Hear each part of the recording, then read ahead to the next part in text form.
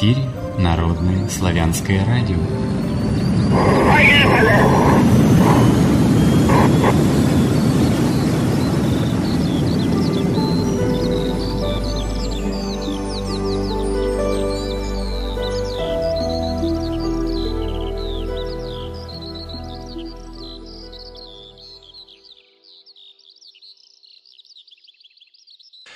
Всем здравия, с вами Народное славянское радио. Сегодня у нас на одном из современных календарей 26 апреля 2016 года, вторник, по одному из старинных, 15 день месяца посева наречения, 7524 лета, Осьмица.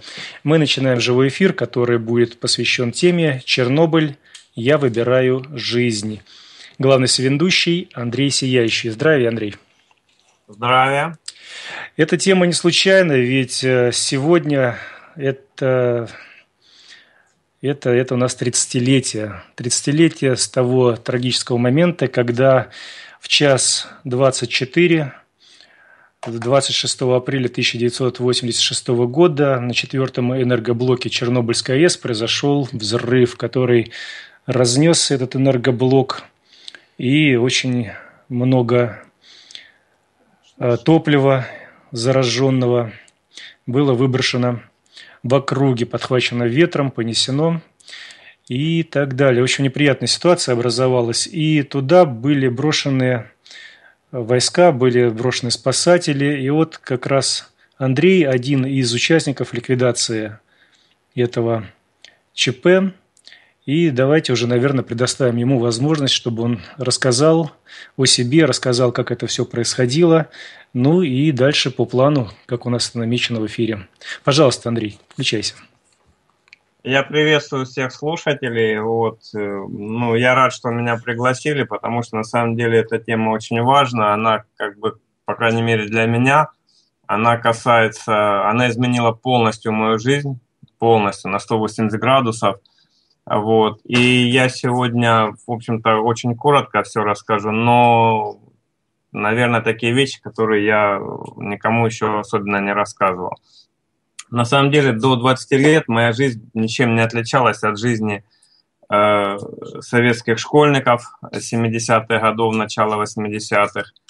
Вот. Э, потом я э, поступил в техникум, закончил техникум. Вот в 82 году, и, э, ой, в 82 году закончил школу, в 85-м закончил техникум, и весной я ушел в армию. И попал я служить в Киев. Вот. Сам я родом с Кубани, у меня отец кубанский казак. Вот. Но попал я служить в, в Киев во внутренние войска – часть 3217, она на Подоле находится, это практически центр Киева. Вот. Но ну, первые полгода провел в учебке э, подо Львовом э, в Золочеве. Потом вернулся в Киев, в общем-то, служба была очень такая хорошая, благодатная, можно сказать, халявная.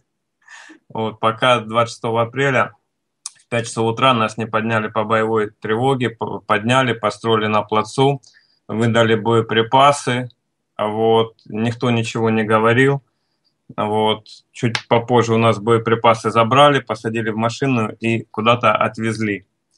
В этих машинах мы просидели очень долго, и потом, когда нас выгрузили, сказали, что вы приехали туда-то, туда-то, там произошло-то, то-то, то-то. Вот.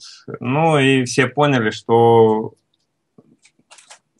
ну, как бы деды в панику ударились, а вот я, честно говоря, не понимал, э, что такое радиация, как она может повлиять. Но мы стали выполнять, как бы сказать, свой долг, который я считаю, что тогда и тогда, и после армии, в общем-то, я этим и гордился, то, что я считал тогда, что мы помогаем нашей стране, нашему народу, а вот, советскому народу, и он для меня э, по сей день э, остался советским народом. Все народы вот и республики, которые входили в состав Советского Союза, их до сих пор считаю и русскими, и считаю нашими, вот, и я тогда действительно считал и сейчас считаю, что мы действительно выполняли свой долг, э, помогали. Конечно, мы э, приехали, мы были в оцеплении, э, мы в Припяти были, это город энергетика, он находится буквально в двух километрах от э, Э, станция от самой. Вот. Мы ловили мародеров там, охраняли. Эм, сами мы жили в 10-километровой зоне. И, в общем-то, конечно, мы на станции на самой не были. Вот, и те ребята, которые э, попали на станцию, это однозначно герои, которые пожертвовали своей жизнью. Вот. Но мы тоже как бы выполняли ту работу, которая требовалась от нас.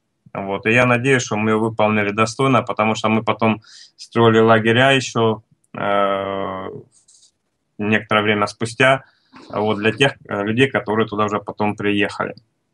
Вот. Значит, в общем-то, мы там пробыли с 26 апреля по 2 мая, э, неделю целую. А вот. Об этом, естественно, в те времена никто не говорил. Первые заговорили, мы по приемнику услышали «Голос Америки», сказал дня через 2-3, наверное, где-то не через 5 уже э, наши СМИ передали о том, что произошло на Чернобыльской АЭС. Э, в дальнейшем мы были еще в июне неделю, тогда лагеря строили, и, и, в, и в июле. А в конце июля, 31 июля, нас перевели в Днепропетровск служить.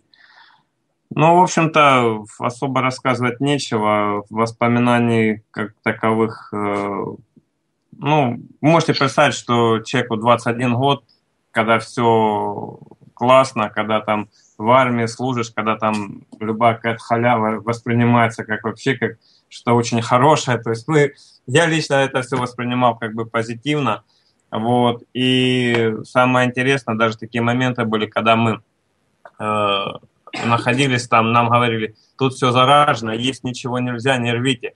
Вот. Ну, а мы ж, конечно, мы все сделали так, как нам сказали. Ходили там вокруг как раз нашего лагеря, недалеко была деревня Староверов, но в то время я вообще не представлял, что это такое. Это сейчас бы, конечно, было бы с интересом там побывать.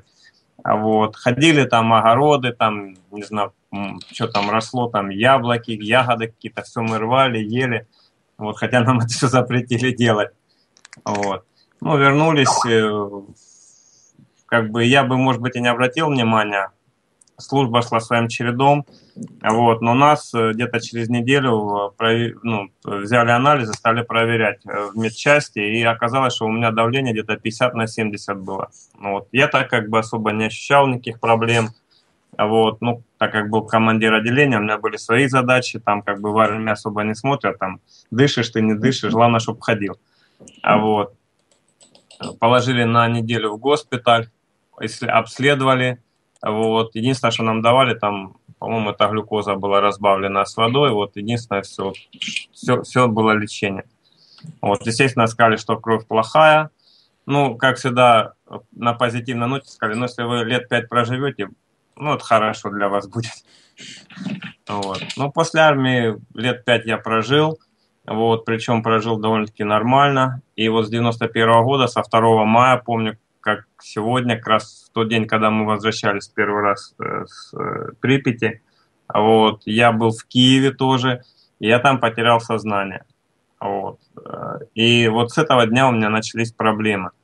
Вот. Ну, жил я в, в городе, где, ну, скажем так, у моей мамы, она очень хорошо шьет, и она там обшивала очень много людей, все врачи были знакомые. И все врачи мне хотели помочь от чистого сердца.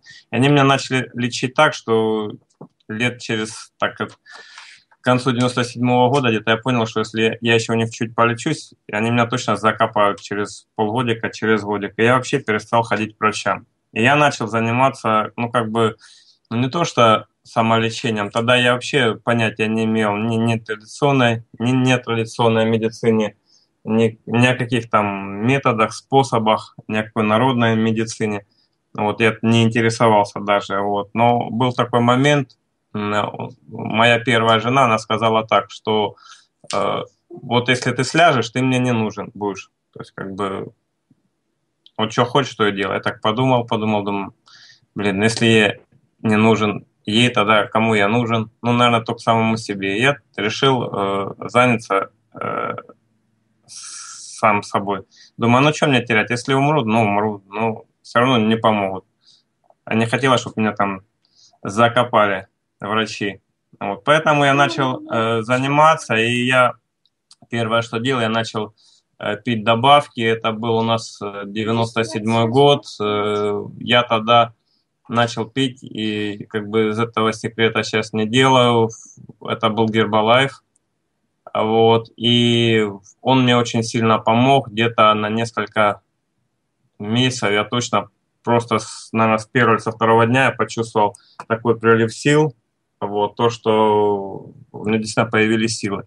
И благодаря тому, что я начал работать в этой компании, э, там начали давать книжки там по сетевому маркетингу, еще что-то давать там, вот, и везде там в книжках про Бога написано было, вот, ну, я начал, по-моему, первые книжки были Наполеона Хилла «Думай, богатей», по-моему, если мне память не изменяет сейчас, тоже он там про Бога что-то писал, вот. Естественно, мне эти вещи начали э, наталкивать на э, ну, другое понимание. Я стал искать, э, нашел, значит, первая книжка, по-моему, по, ну, если так можно сказать, в современном понимании по эзотерике, это была э, книжка Свияша, там что-то про карму, не помню сейчас, как она называется, я прочитал. Вот, она меня как-то так, может быть, впечатлила, заставила задуматься, начал искать другие вещи – а вот. И где-то в году в 99-м я пришел, э, есть такой уже, я с 97-м начал заниматься, да, собой. Через полгода, в, 90, в июне 98-го я приехал в Москву. Вот. И тут я уже э, познакомился с э, тоже, ну, ища э, книжки, может быть, кто-то знает, есть такой метод Сильва. Это метод э, динамической медитации, развития визуализации. И вот с 99 -го года я начал заниматься. В 2000 году я прошел большой тренинг. А вот. Что это дало? Это очень сильно развивает визуализацию. То есть наш мозг, он э, работает на образах. То есть мы видим образы. Вернее, должны видеть образы. Вот. Просто сейчас вот эта вся э, информация, этот мусор, э, все это сделано специально, для того, чтобы мы не могли э, пользоваться очень мощным способом, ну, как бы скажем, материализации, если можно так сказать. Вот. А вообще наш мозг работает образами. Вот этот метод очень помогает хорошо визуализировать и материализовать любые вещи. Все, что надо. Это касается здоровья, это касается там, скажем, деловых встреч, это касается э, ну, любых вещей, там, найти свою половину, там, еще что-то сделать, да, то есть это как бы неважно, э, какая у тебя проблема, ты ее решишь по-любому. А вот. И что очень важно было, я узнал, что есть такие вещи, что наш мозг работает на различных как бы диапазонах, да, там бета есть, альфа, тета – вот, но вы об этом, наверное, знаете все, но просто я вскользь скажу, чтобы понять то, что со мной произошло. А, значит, вот сейчас мы общаемся, наш мозг работает на а, бета-уровне. Это где-то от 14 до 21 Гц диапазон. Сейчас э, подняли этот диапазон до 35 Гц. Вот. Э, но мы немножко, я тоже это коснусь чуть-чуть попозже этого, этой темы. Альфа – это когда от 7 до 14 Гц. Это состояние, когда обычно э, люди медитируют. А вот. И от 4 до 7 это есть тета, когда человек как бы, ну, как бы сказать так, это глубокое медитативное состояние или трансовое, будет так правильно сказать, когда наше физическое сознание э, там отсутствует вообще. Если на альфа оно присутствует, а, у многих людей даже в медитации. То есть надо уметь полностью останавливать свое сознание, вот, чтобы оно вообще не вмешивалось. Но это очень мало людей могут. Вот на это э, физическое сознание наше вообще не вмешивается. Оно не может туда попасть. Но это состояние, когда обычно человек либо засыпает, либо только просыпается, ну, вот, либо иногда так вот бывает, впадает в такое трансовое состояние, бывает, там на, можно на какую-то картину, на огонь, да, смотреть там. Ну, есть разные практики. Вот. Так вот, э, когда человек находится в альфа-состоянии, происходит э, такая вещь, как э, самоисцеление организма. Но мы, к сожалению, э, у нас жизнь такая э, очень стрессовая, да, мы постоянно находимся в стрессе, постоянно возбуждены, особенно это в крупных городах, такие как Москва, вот, и когда наш мозг работает на бета. Хотя говорят специалисты, что это нормально, что до 21 Гц это нормально, сейчас уже поднялся диапазон до 35, это тоже нормально, говорят. Но я говорю всем, что это э, стрессовое состояние. То есть человек, наш мозг находится в стрессовом состоянии. То есть он не может уже выполнять те функции, которые он э, должен выполнять. А вот на альфа, э, в альфа состоянии как раз вот то состояние, когда происходит э, исцеление организма. Он сам этим занимается, ему не надо мешать. Но вопрос в том, что э, надо уметь входить в это состояние и не просто там два раза в день или три раза в день там как бы как там сел, помедитировал, это все хорошо, конечно. Но вот именно э, э, благодаря этому методу я научился медитировать, в общем-то, ну, могу идти по улице, могу с открытыми глазами идти, могу там в электричке ехать, могу на машине ехать. У меня жена даже не хочет одного отпускать, все время старается со мной ездить на машине, чтобы я один не ездил. Вот, потому что я ухожу, ну, это как бы не влияет ни на что, потому что в нужный момент ты всегда возвращаешься. Вот, я научился это делать, и последний раз, когда я замерял э, э, как раз-таки э, деятельность свою фазы мозга, у меня было, скажу сколько, 9, где-то от 9,5 до 10,5 Гц. Нормальное состояние моего мозга. То есть в этом состоянии происходит исцеление организма. Это один момент. Второй момент, то, что вы можете проецировать то, что вам нужно. С помощью этой методики я избавился, вот, в общем-то, от всех своих, э, ну, как бы сказать, тех э, негативных, как сказать, там, моих привычек, что ли, от которых я не мог Хотя у меня есть сила воли, не, многие вещи я поборол чисто силой воли, то есть, вот, но некоторые не мог. Вот благодаря эти, этой методике, которая там очень много разных методик, вот я смог э, изменить свою жизнь полностью. То есть моя жизнь поменялась на 180 градусов. Я стал находить людей нужных, я стал попадать на нужные мероприятия, мне стали попадаться нужные книги.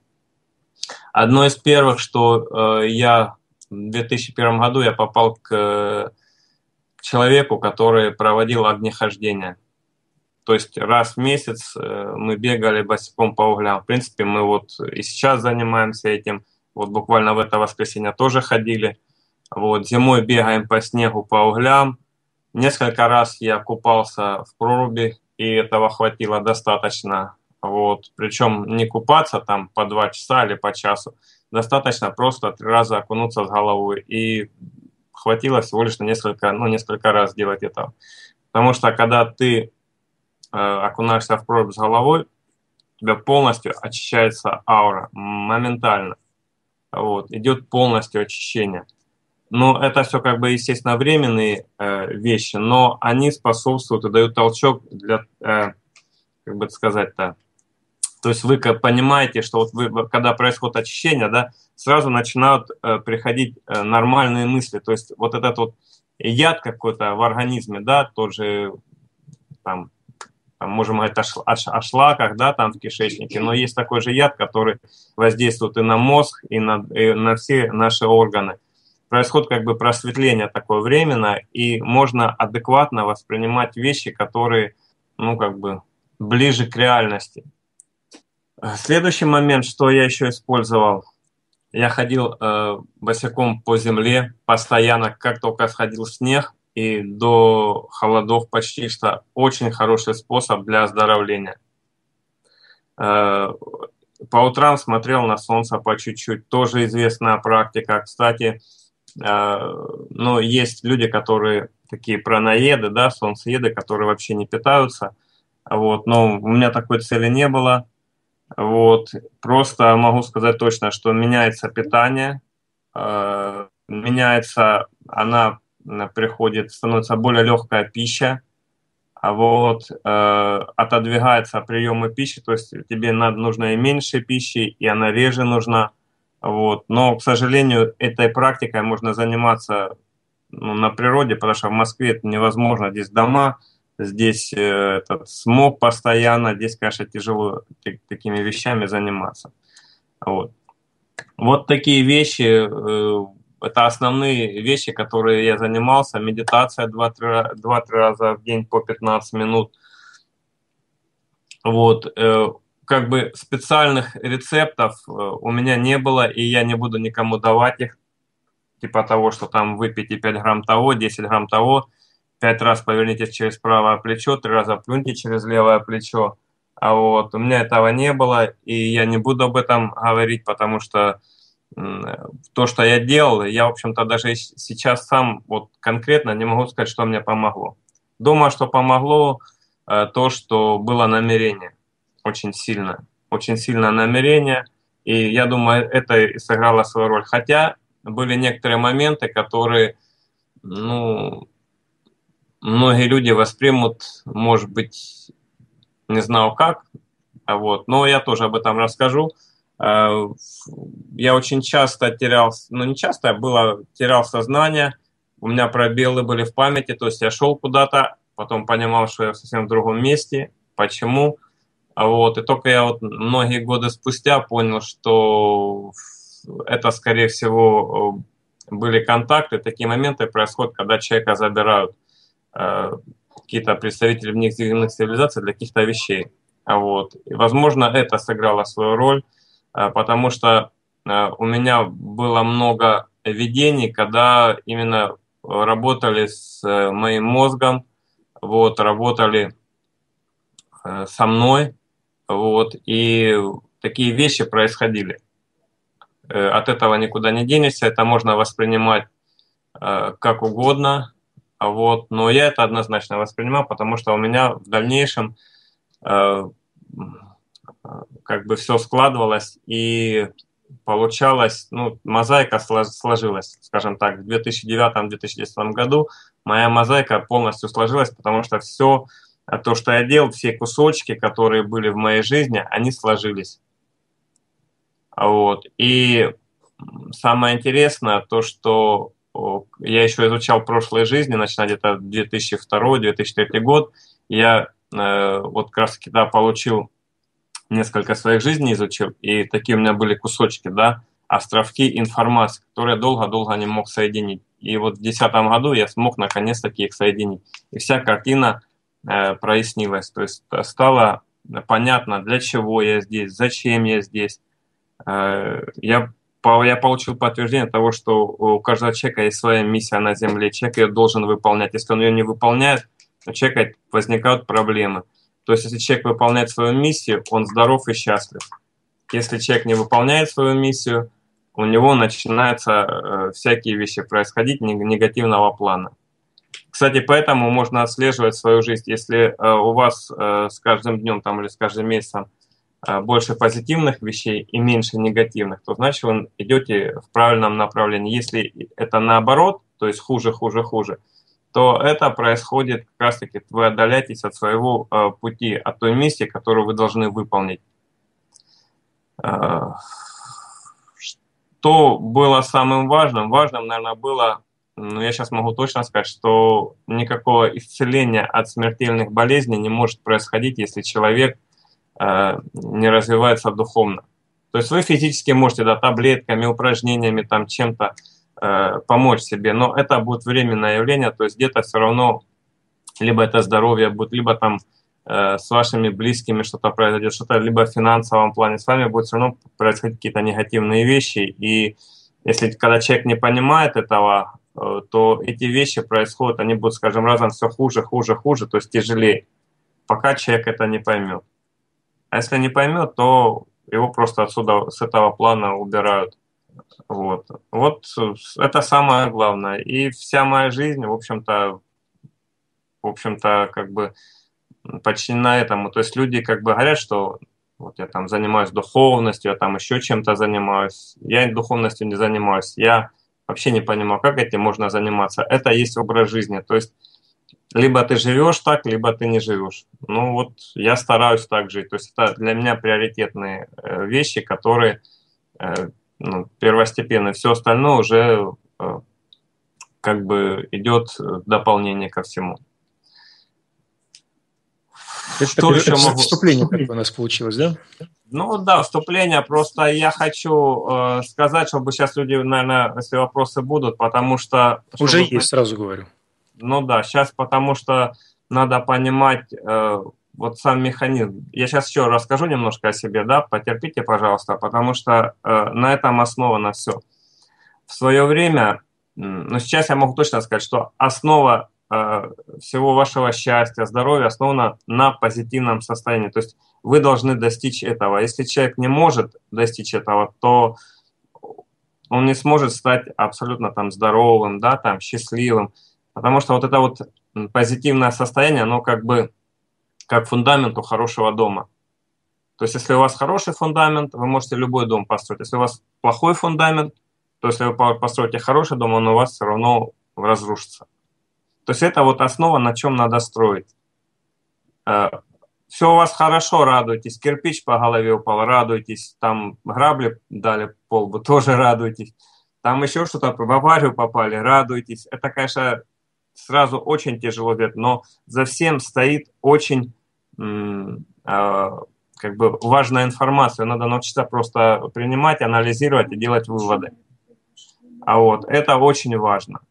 Вот. И таким методом, я помню, в течение 10, 100 дней я занимался около, там, не помню, 20-30 минут в день, когда я смог добиться этого состояния, и практически я могу сказать, что я практически э, нахожусь в том состоянии, в котором ну, такое стопроцентное позитивное. Да, конечно, бывают иногда небольшие расстройства, но эти расстройства больше связаны с нашим бизнесом, чем с жизнью, что в жизни абсолютно все нормально. Вот, а по бизнесу приходится с разными людьми встречаться, вот, и, к сожалению, как всегда думаешь о людях хорошо, а вот, а очень часто получается, что получается не так, как тебе хотелось бы это увидеть. Ну да, люди оказываются еще лучше, чем ты не думал.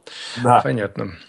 Ну, ты такие вещи рассказываешь, так, радуйтесь всему, ударят вас, сразу вспоминается такая присказка детская, если вас ударят в глаз, вы сначала вскрикните, раз ударят, два ударят, а потом привыкнете.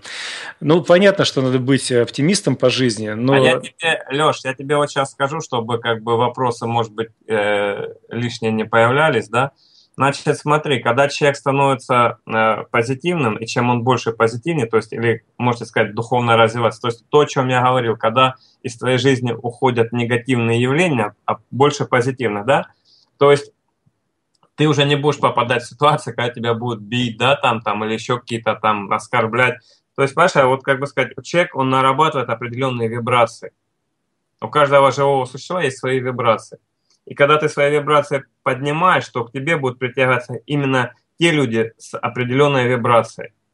Если эти вибрации будут ниже, эти люди будут исчезать. Вот со мной с 98 -го года я столько в Москве с, люд... с таким огромным количеством людей познакомился. Э, на сегодняшний день я осталось за вот сколько уже, почти 20 лет с одним человеком общаюсь, то мы с ним встречаемся, может, там раз в месяц, раз в два месяца, и то ненадолго. Все остальные люди ушли. То есть все, что не соответствует твоим вибрациям, уходит. Будут приходить другие люди. Э, если ты поднимаешься, да, то есть если твои вибрации повышаются, тебе будут люди более позитивные приходить, более интересные. Если ты будешь опускаться по вибрациям, ну, соответственно, хорошие будут уходить, будут больше приходить плохие. С низкими вибрациями там, ну, э, я думаю, это не надо объяснять, это всем понятно. Вот. Поэтому хорошо, хорошо. Пугаться, пугаться здесь нечему абсолютно, Леш. То есть это э, радуйся, ты будешь радоваться действительно тем вещам, которые будут происходить в твоей жизни. Наверное, у наших радиослушателей некоторых перед музыкальной паузой последнюю фразу произнесу. Возникает такое представление. Такой Андрей сияющий ходит, как Кришнаид Хари Кришна, всему, всему радуется, довольный. Ну ладно, так или не так, мы узнаем после музыкальной паузы. Да, после давайте... музыкальной паузы узнаем точно. Да, прервемся на две минуточки.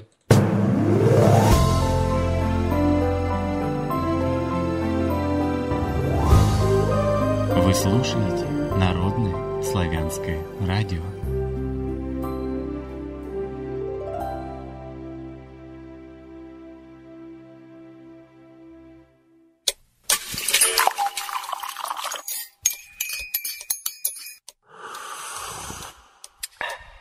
Продолжаем разговор.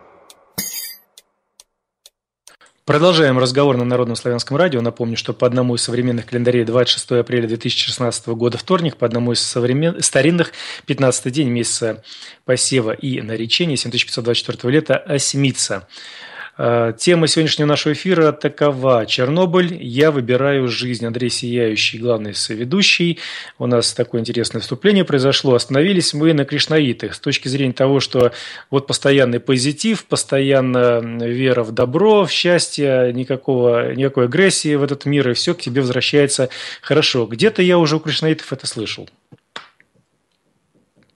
Вот что скажешь по этому поводу? Что я скажу? Ну, я как бы с кришнаитами, я их знаю. Я, кстати, э, второе мое издательство, в котором я работал, э, «Будущее Земли», там это э, как раз-таки были люди, которые были кришнаитами. А вот я там поработал, ну нормальные люди. Вот, ну, они не, не ходили там по улицам, не пели так, ну, нормальные люди, просто они выполняли а свои, как бы у них там храм был, они ходили там на службы, то есть свои какие-то ритуалы. Я там никогда не был, поэтому не буду говорить. Вот, они очень добрые, хорошие, такие позитивные, да, люди. Вот, что про себя могу сказать? Ну, я расскажу, как начинается мой день, чтобы э, было понятно, может быть, почему я целый день в таком хорошем настроении хожу. Вот. Или почти. Всегда в хорошем. Только не начиная с того, подхожу я к бару, достаю туда бутылочку, 100 грамм плеснул и веселый целый день. Нет, чуть позже. А вот, значит, я встаю, ну, обычно я встаю рано, э, обычно до 6 часов. Бывает в 4, в 5, но обычно это 6 часов. Вот первое, что я делаю, я встаю, иду, выпиваю стакан воды сырой. Фу, ну хотя бы сырой воды. Я уж выпивая слово прозвучало. Ну понятно, так дальше пью. Вот. Потом иду в туалет, умываюсь, и потом в течение, э, ну, скажем, 30-40 минут я читаю Манкараю э, и славлю Всевышнего. Это э, как бы занимает обычно 30-40 минут, но бывает, когда либо рано встаю, либо какому-то такому вдохновению, это может быть доходить и до трех часов. Но обычно это 30-40 минут. Именно просто хожу, читаю древнюю Манкараю, вот, славлю Всевышнего, и э, после этого я делаю все дела. То есть неважно даже во сколько я встану, где я буду, для меня это как бы э, основное. По, э, поблагодарить Всевышнего вот, за все, и потом начинаю дела. Кстати, вот сегодня должен был другой человек выступать, вот, и он в своей книге написал, что рождение человека – это подарок Богу а жизнь человека – это подарок Богу. Вот, очень такие слова, они меня очень тронули, а вот, и я хочу действительно сказать, что надо подумать, насколько вот мы получили этот подарок от Всевышнего, насколько мы э, благодарны ему за это. Подожди, ты прозвучал эти два раза подарок Богу. Еще разок эту фразу Нет. произнеси, мне кажется, что-то там... смотри, рождение человека – это подарок Бога. А, Бога. Угу. Да. А жизнь человека – это подарок Богу. А, ну вот теперь все стало на место. Понятно, так. Вот, то есть, как бы, насколько мы благодарны за тот дар, который э, мы получили. Мы вот нас учат, да, там, религии, да, современно, ну, конкретно мы живем в христианском мире, да, там, скажем, христиане, чтобы надо просить у Бога, дай это, дай то, дай все, дай пятое, десятое, да, там, спаси меня, помоги, вот, но, как бы, таких слов благодарности особо, ну, я не знаю, по крайней мере, чтобы, как бы, так, я это, как бы, глубоко это все не знаю, вот, и многие другие культуры там все это просят. Вот я именно поступаю тогда, я тоже иногда э, прошу помощи, иногда э, прошу то, что мне нужно, вот, но утро я начинаю именно с благодарности. И вот после этого начинаю делать дела. И почему-то, наверное, случайно, может быть, не случайно, у меня всегда спокойствие на душе, хорошее, я с радостью делаю свою работу. А ту работу, которую я делаю, я очень люблю. И это даже это не работа, это, э, это часть моей жизни. Причем большая часть жизни, так скажем. Вот. И вообще, как бы как оказалось, в общем-то, ну, я уже давно узнал, правда, не сразу понял это, это именно э, Э, миссия, которую я должен в этой жизни выполнять. У меня было много э, в прошлой жизни, где я и нес информацию, была, но я ее не мог передать людям. Сейчас у меня этого есть возможность, я эту информацию передаю вот через книги. Кстати, у нас 5 апреля нашему издательству исполнилось 10 лет в этом году. А вот, и ну, мы счастливы. Вот, и счастливы, и со здоровьем у нас нормально. И как вот я уже говорил, то, что если человек выполняет свою миссию, он должен быть счастлив и здоров. Это можно сразу, вы можете по себе уже э, как бы сравнивать, э, туда идете вы не туда. Правильно ваша жизнь протекает в том направлении или нет. Если есть проблемы, значит, э, надо искать свой путь, свою миссию, потому что, значит, идете не туда. Хорошо, хорошо. Но это, сразу скажу, это мое мнение, потому что это мой опыт. Я рассказываю свой опыт. Я не говорю, что для всех это будет именно так, или это только так. Это именно мой опыт. Ну, понятно, что каждый человек может сказать только то, что он э, себе представляет, может поделиться только своим опытом. Само собой, никто не заставляет его э, говорить за всех людей. Да это было бы, наверное, и глупо. Э, тем ты интересен, что у тебя есть свой опыт, и ты прошел очень много чего интересного, опять же, и сложности у тебя были, и нашел свой путь решения этих сложностей, решения этих проблем. Ну вот давай все-таки мы вернемся. Сейчас здесь вопросы уже идут. Э, наши радиослушатели напоминаю, что вопросы мы принимаем в чате Народного славянского радио. Для того, чтобы в чат попасть, необходимо в любом поисковике набрать Народное славянское радио. Дальше попадаете на сайт славмир.орг, и там ищите слово «чат» нажимаете на слово. Если вы не зарегистрированы, то придумайте логин-пароль и указываете e-mail, куда придет вам ответ. А если зарегистрированы, логин-пароль вводите, и вы можете вот задавать вопросы э, в наше в нашей трансляции и можете общаться с друзьями. Давай все-таки вернемся вот чуть-чуть назад, чтобы целиком картиночку такую получить.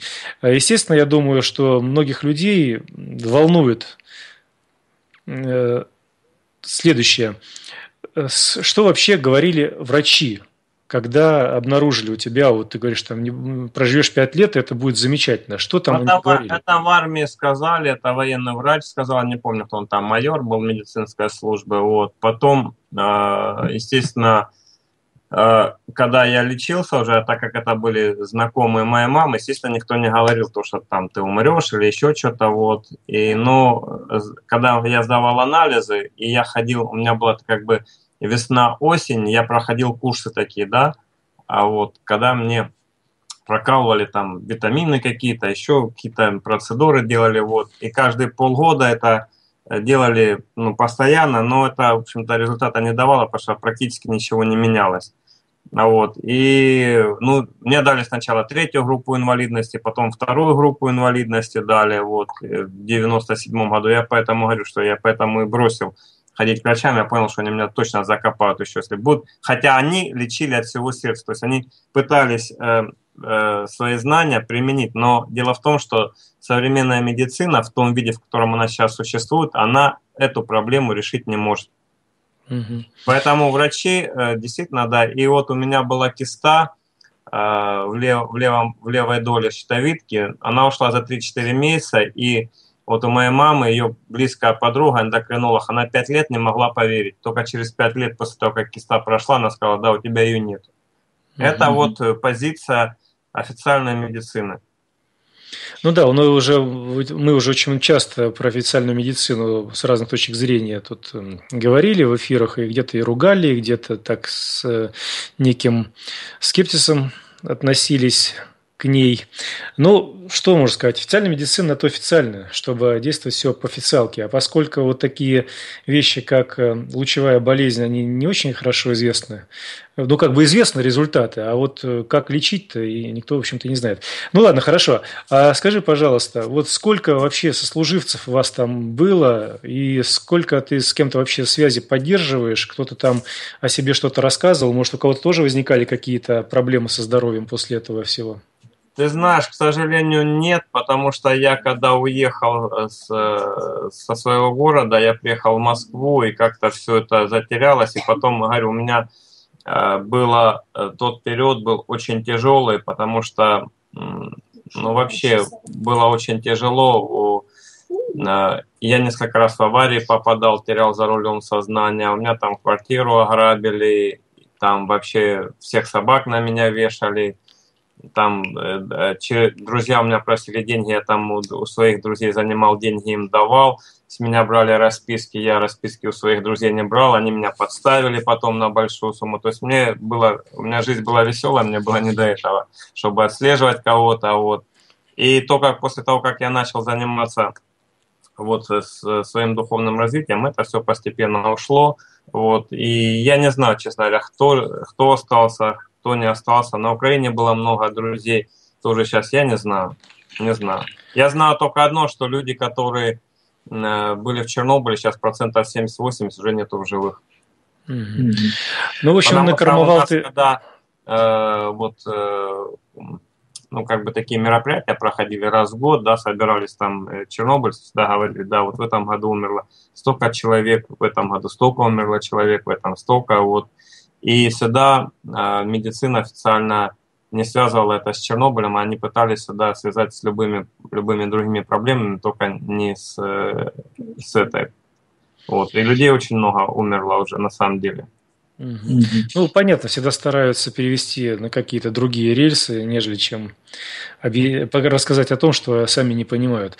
Понятно, понятно. То есть, получается, если так следить э, по твоим перипетиям в жизни, в прошлой жизни там хорошенько покормовал, чтобы тебе нужно но... было и туда попасть, и сюда попасть, и граблями получить не только по голове, но и по заднице.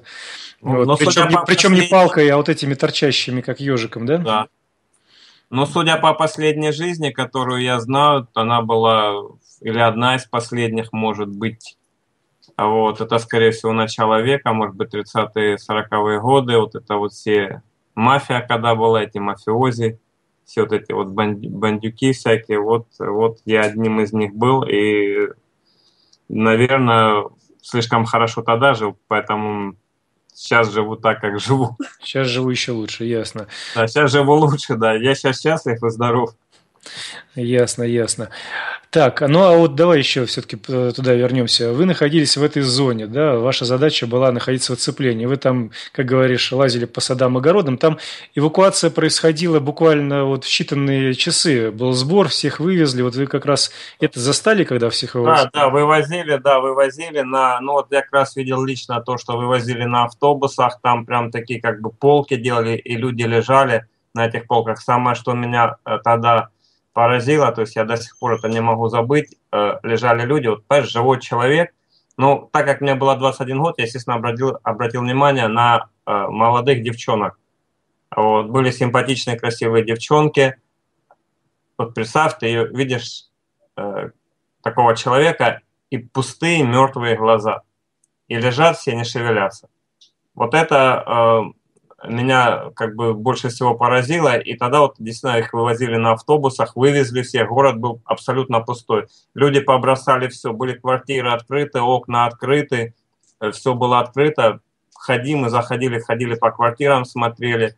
Вот, потому что мы в Припяти были, мы именно как бы в оцеплении. И находились э, люди, которые пытались там грабить, пытались э, на какие-то заводы залазить, да, мародерством занимались. То есть мы их таких отлавливали.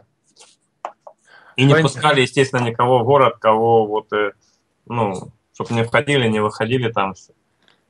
Ну хорошо, а ты сам вот в дальнейшем интересовался э, тем, что там произошло и что сейчас там происходит в Чернобыле?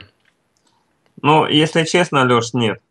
Потому что, я говорю, жизнь такая была, что как бы, тем более начались 90-е, когда развалился Советский Союз – вот, начались проблемы и со здоровьем у меня, и просто выживать. Я сейчас вообще не представляю, как мы выжили в те годы, что жизнь была действительно очень тяжелая.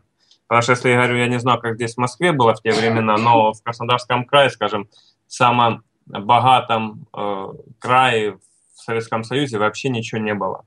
То есть вообще, то есть там, ну я не скажу, что там голод был, но вообще ничего не было. Только вот карточки были, по карточкам что-то мы получали там, вот, э, какие-то крохи, вот, и, ну, в общем, тяжело было очень, на самом деле, выживать, работы не было, вот, но я, правда, э, два года поработал в пожарке, но у нас командир части был, он э, бывший, у нас военная часть была, он бывший был э, начальник э, тюрьмы, что ли, его перевели сюда, вот, так как ведомство одно было, внутренние войска, вот он тут начал свои порядки проводить. Вот, ну, заставлял нас маршировать, честь ему отдавать. Мы отказались это делать, я, короче, оттуда ушел.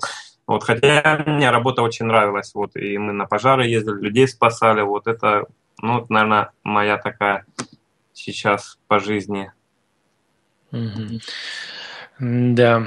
Ну, в общем, получается, как бы для тебя Чернобыль – это вычеркнутый из жизни такой момент, когда случилось это все, и ты крест поставил, и больше вообще не интересовался, нет, что там происходило. Нет, нет. Почему? Я сейчас точно знаю, почему это произошло, потому что я этот вопрос исследовал вот очень долго. И, э, значит, в двух словах можно сказать так. Мне дали понять, насколько ценна жизнь. Раз.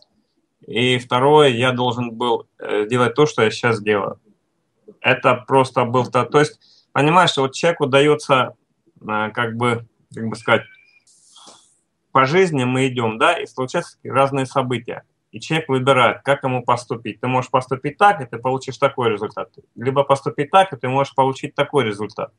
То есть, если ты пойдешь по одному пути, ты сделаешь одни дела, пойдешь по другому, сделаешь другие. Вот. У меня был э, выбор и прийти именно туда, куда я должен был прийти. То есть сделать правильный выбор. Ну, я надеюсь, что я его сделал. Ну, вернее, я знаю сейчас, что я сделал правильный выбор. Кстати, э, даже когда я был молодой, и когда, ну, до армии, да, и даже после армии, э, я очень чудил много. Ну, как чудил? Ну, все мы были обыкновенными людьми, вот, но постоянно я чувствовал, что меня кто-то оберегает. Хотя я ни в Бога не верил тогда, ничего. Вот, кто-то меня спасал, отводили, то отведут там из, э, ночью, там кто-то оттолкнул меня с рельс, когда поезд несся на огромной скорости. То, что там падало, там несколько тонн металл падал, меня просто как-то отшатывало почему-то от этого места. Дома потолок падал тоже буквально в метре от меня. То есть такие вещи постоянно происходили. Вот, и я так понимаю, что, ну, меня готовили, готовили, готовили к тому, чтобы я стал, стал тем, кем я сейчас стал. Вот. Поэтому то, что произошло, вот я говорил уже, что радиация, она либо убивает человека, либо делает э, здоровым. То есть я вот сейчас не болею вообще. То есть как бы, если что-то и бывает иногда там какое-то, обычно это у меня поднимается температура, ну, это от переутомления. У меня организм говорит, ты переутомился, если ты не отдохнешь, я тебя шарахну по полной программе. Вот я два-три дня лежу, все, просто лежу там, могу читать, могу там смотреть на компьютере что-нибудь, вот, и все это проходит, вот, и Поэтому такие вот вещи.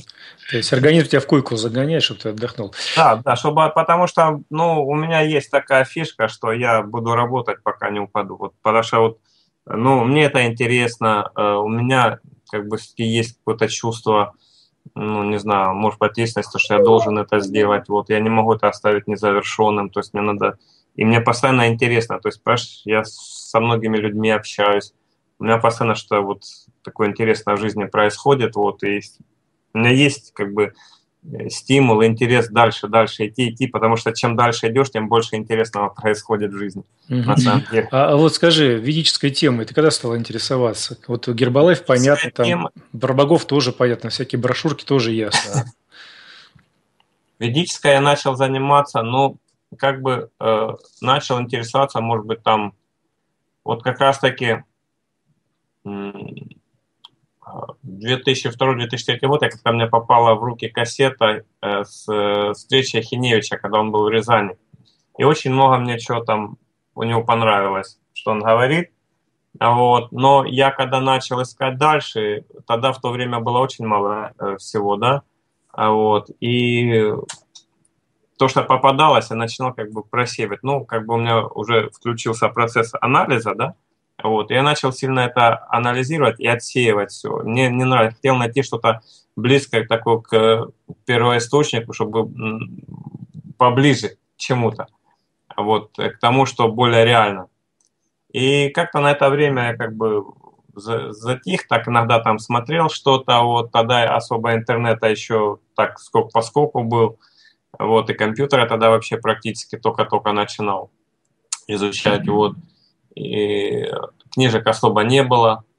Но когда в девятом-десятом году произошли некоторые события, когда мне показали то, что я действительно по прошлым жизням был очень часто именно связан именно с ведической культурой, я выполнял определенные вещи, э, не знаю, как там сказать, и священнослужителем был, и был как бы хранителем знаний.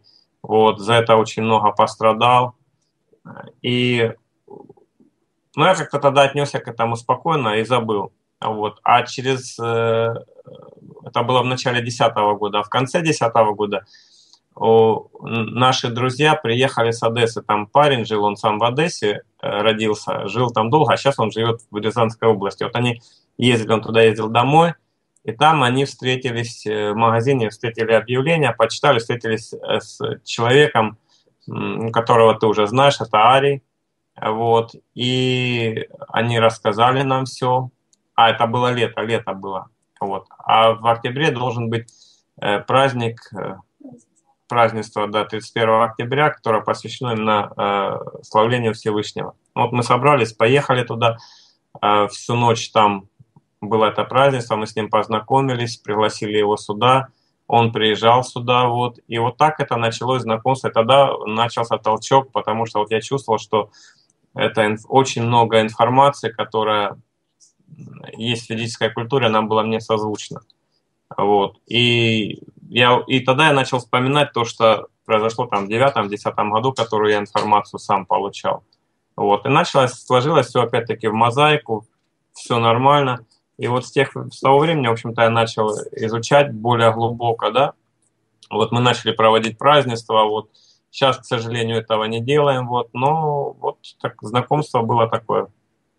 Понятно. А э, ты, когда организовывал Э, свою собственную издательскую систему издательства, то в этом случае с какой целью, какие ты хотел э, книги, там, литературу какую издавать? Ну, я уже работал в издательствах, работал буквально за какие-то три года, да, вот, и, ну, естественно, я только хотел по духовному развитию издавать.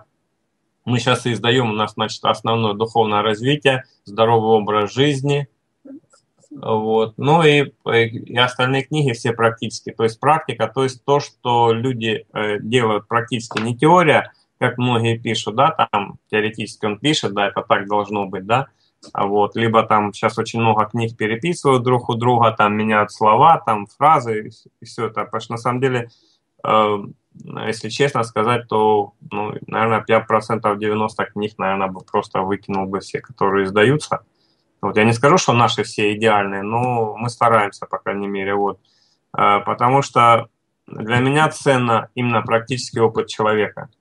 Вот то, чего человек добился, его жизненный путь, а, его становление духовно. Это очень важно. Не то, что там 100 человек пишут одно и то же, там, вот это надо сделать, это надо сделать, там кто-то что-то делает, вот, а именно э, твое личное. Вот эти книги мы издаем э, именно практически, когда ты можешь взять книгу с твоей проблемой, да, там ты нашел проблему, взял, почитал и решил ее. Вот это вот э, ну, как бы основное, это основная тема на нашего издательства. Вот. Поэтому вопрос о том, что какие книги издавать, у меня не был. Угу. Тем Хорошо. более, когда э, мы, когда в 2006 году организовали, тогда уже у меня, в общем-то, я уже все вопросы со здоровьем решил, у меня уже скажем, понимания полного не было, но вот какое-то наше на подсознании э, чувства какие-то были, интуиция, что ли, или как срабатывало, что надо вот именно дальше идти в этом направлении. Именно так оно э, должно быть в моей жизни. Угу. Так представляю тебя сидящего вокруг много книг, так листаешь, так зеваючи очередную книгу выбрасываешь. Скукота. Ну ладно, давайте еще раз на музыкальную Но паузу прервемся. На самом деле я сейчас практически не читаю, только те книги, которые мы издаем, за, за, за малым исключением. Вот сейчас начал читать, в общем книжка этого вот Джора Хиневич. А, да, да, да, понятно. А, Очень вот. интересная книга, да, рекомендую. Хорошо, давай на музыкальную паузу прерываемся да, да, и да. дальше продолжим, уже, наверное, к вопросам перейдем.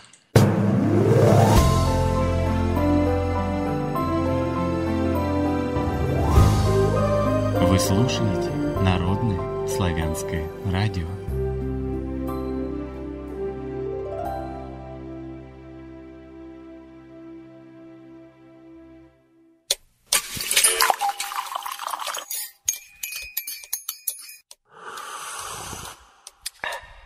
Продолжаем разговор. Продолжаем разговор на Народно-славянском радио. Напомню, что по одному из современных календарей 26 апреля 2016 года вторник, по одному из старинных 15 день месяца пассивного наречения 7524 лета Асимица. Чернобыль, Я выбираю жизнь и Андрей Сияющий, наш главный соведущий. Напомню, что 30 лет назад, в час 24, четвертый энергоблок Чернобыльской электростанции, атомной электростанции, был разорван, был взрыв, и очень много страшных вещей произошло.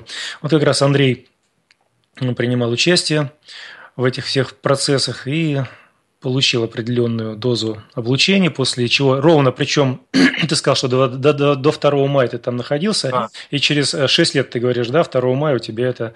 Э, через 5. Через 5 лет дало себе знать. 5. Ровно 2 мая ты себя почувствовал очень-очень хорошо, в кавычках. И потом врачи долго с тобой интересно занимались, и чуть было... Опыты проводили на да. Как э, там говорил этот, какого там, почтальон Печкин, надо тебе в поликлинику для опытов сдать. А вот, значит, вот меня сдали. Да, ну, вырвался из их крепких лап, и, в общем-то, поэтому благодаря этому и жив. Ну, ирония, не ирония, это принимайте сами, но что есть, то есть. Давай, наверное, поотвечаем на вопросы наших радиослушателей. Да. Э, давай я сейчас открываю наш чатик и смотрим. Вопрос в эфир поступил сначала от Владимира из Мытищ. Андрей, оглядываясь назад на минувшие дни, что в жизни сделал бы ты по-другому? Ничего я доволен жизнью. Я считаю, то, что я сейчас нахожусь, ну, то, что э, кем я являюсь сейчас, это было результатом того, что было. Если бы я что-то изменил по-другому, будет уже другой результат. И не факт, что он мне понравился. Uh-huh, uh-huh. То есть я бы ничего не изменил, все, какая жизнь тяжелая не была. Э, но у нас же есть очень хорошая поговорка: чем нас больше это, тем мы крепче становимся. Э, понятно. Ну, можно перефразировать э, на нормальный язык, что нас не ломает, то делает нас крепче. Да. Хорошо. Так, дальше. Э, сразу предупреждаю, некоторые вопросы идут к тебе как специалисту по Чернобылю. Ну вот вопрос от Васильевича. Что, по мнению Андрея, было причиной взрыва АЭС? Как ты думаешь? Но есть несколько как бы предположений. Я не специалист, я же не энергетик, вот. Но говорят, что там проводили какие-то испытания, ну, то, что у нас там говорили, что военные проводили испытания, вот, и, в общем-то, вышло из-под контроля. Здесь следующий вопрос тебе идет как к йогу. Я предполагаю, почему? Потому что сегодня должен был эфир быть э, с человеком, который йогой серьезно занимается, и, видимо, не заметили, что подменочка произошла. Там не получилось по техническим причинам провести эфир, но, как уже говорилось, мы не делаем каких-то трагических выводов из этого, мы просто Э, занимаюсь своим делом, и если сегодня не получилось провести эфир с одним человеком, но при этом у нас есть в арсенале человек другой, и тем более, что дата 30 лет со дня Чернобыля, это так связано с другим человеком, то вот Андрей э, принял мое приглашение, и мы быстро сделали, переделали анонс эфира, и вот теперь в эфире. Но так или иначе вопрос поступил, я его зачитываю. Ну, давай, давай. Вопрос э, в эфир от Владимира из Матищ практически каждый пятый эфир тут, ну, на радио имеется в виду, про йогов. Но вы что-то хоть э, не йог, ваш путь самостийный? Ну, вы-то хоть не йог, ваш путь самостийный? Нет, нет, я не йог точно. Вот, я йогой не занимался, вот, э, ну, как-то не пришлось, душа не лежала. У меня немножко, ну, как бы, я занимаюсь немножко другими практиками, скажем так. Mm-hmm. Вот такими духовными, не, не физическими, а дух, более духовными такими, вот именно, которые связаны с э, нашим сознанием. Потому что, ну, о, ну, наверное, об этом нужно сказать. Я, к сожалению, ну, как бы сказать, не хочу сказать, что я сильно разочарован, да, там, обижен, но я э, такую тенденцию заметил за последние 16 лет. Я пытался объединить э, э, несколько разных групп людей, то есть, как бы, в начале 2000-х, когда работал в сетевом маркетинге, я хотел объединить как бы людей всех, чтобы это как бы была единая система, да. Я даже газету несколько э, выпустил несколько выпусков газеты по сетевому маркетингу, писал там статьи в своих журналах, выступал там в различных компаниях, вот. Но э, люди не смогли. То есть люди вроде говорят, да, хорошо, хорошо, а когда объединяться, не смогли. Года через два, через три уже, э, будучи участвовать в одной академии духовной, да, такой, я пытался, это был 2001 или 2002 год, не помню, я для них сделал сайт, вот, и попытался объединить несколько самых интересных различных групп, типа такой мини-портал сделать эзотерический, тогда это практически такого не было, еще. А вот вроде все да-да-да, когда начало объединяться, все сразу как бы опять э, разбежались, то есть у каждого, э, ну как бы самое-самое правильное, вот. А потом, кого я еще пытался объединить? Ну вот, Ари приезжал, мы пытались славян объединить, не получилось с разными традициями, тоже не получается. Вроде все согласны, вроде да-да, а когда касается дела конкретно, там, давайте мы к вам придем на празднество, вы к нам, там, какие-то мероприятия сделаем, не получается. То есть каждый считает, как бы пытается сам за себя. А вот это я связываю с тем, что я так понял, что неважно, чем люди занимаются, а вот это все зависит от уровня сознания. Если у человека сознание низкое, чем бы он ни занимался, результат будет налицо. Поэтому э, я как бы в этом плане стараюсь не больше уделять. Конечно, какие-то физические эти надо делать, безусловно, вот, но самое основополагающее здесь э, будет э, работа с сознанием. То есть вы повышаете свой уровень сознания, поднимаются вибрации, э, естественно, все происходит исцеление. Я скажу такие примеры, вот недавно, как-то буквально совсем недавно, а могу несколько привести примеров из жизни. Вот был жил я в Сходне тогда еще, это было давно-давно, ну, в начале 2002 2003 год, может быть, может, четвертый, не помню. Мы переехали на квартиру, и там тараканы были. Побежали с женой, купили этих всякой гадости, которые их травить надо, и наши, и импортные там.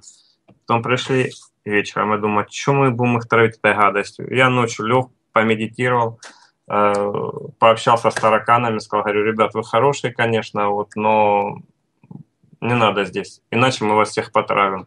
Я утром встал, тараканов не было. Больше ни одного таракана в нашей квартире не было.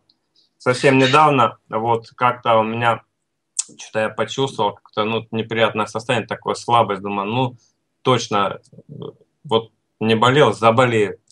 Вот, лег, и у меня температура поднялась, все, как раз это было под вечер.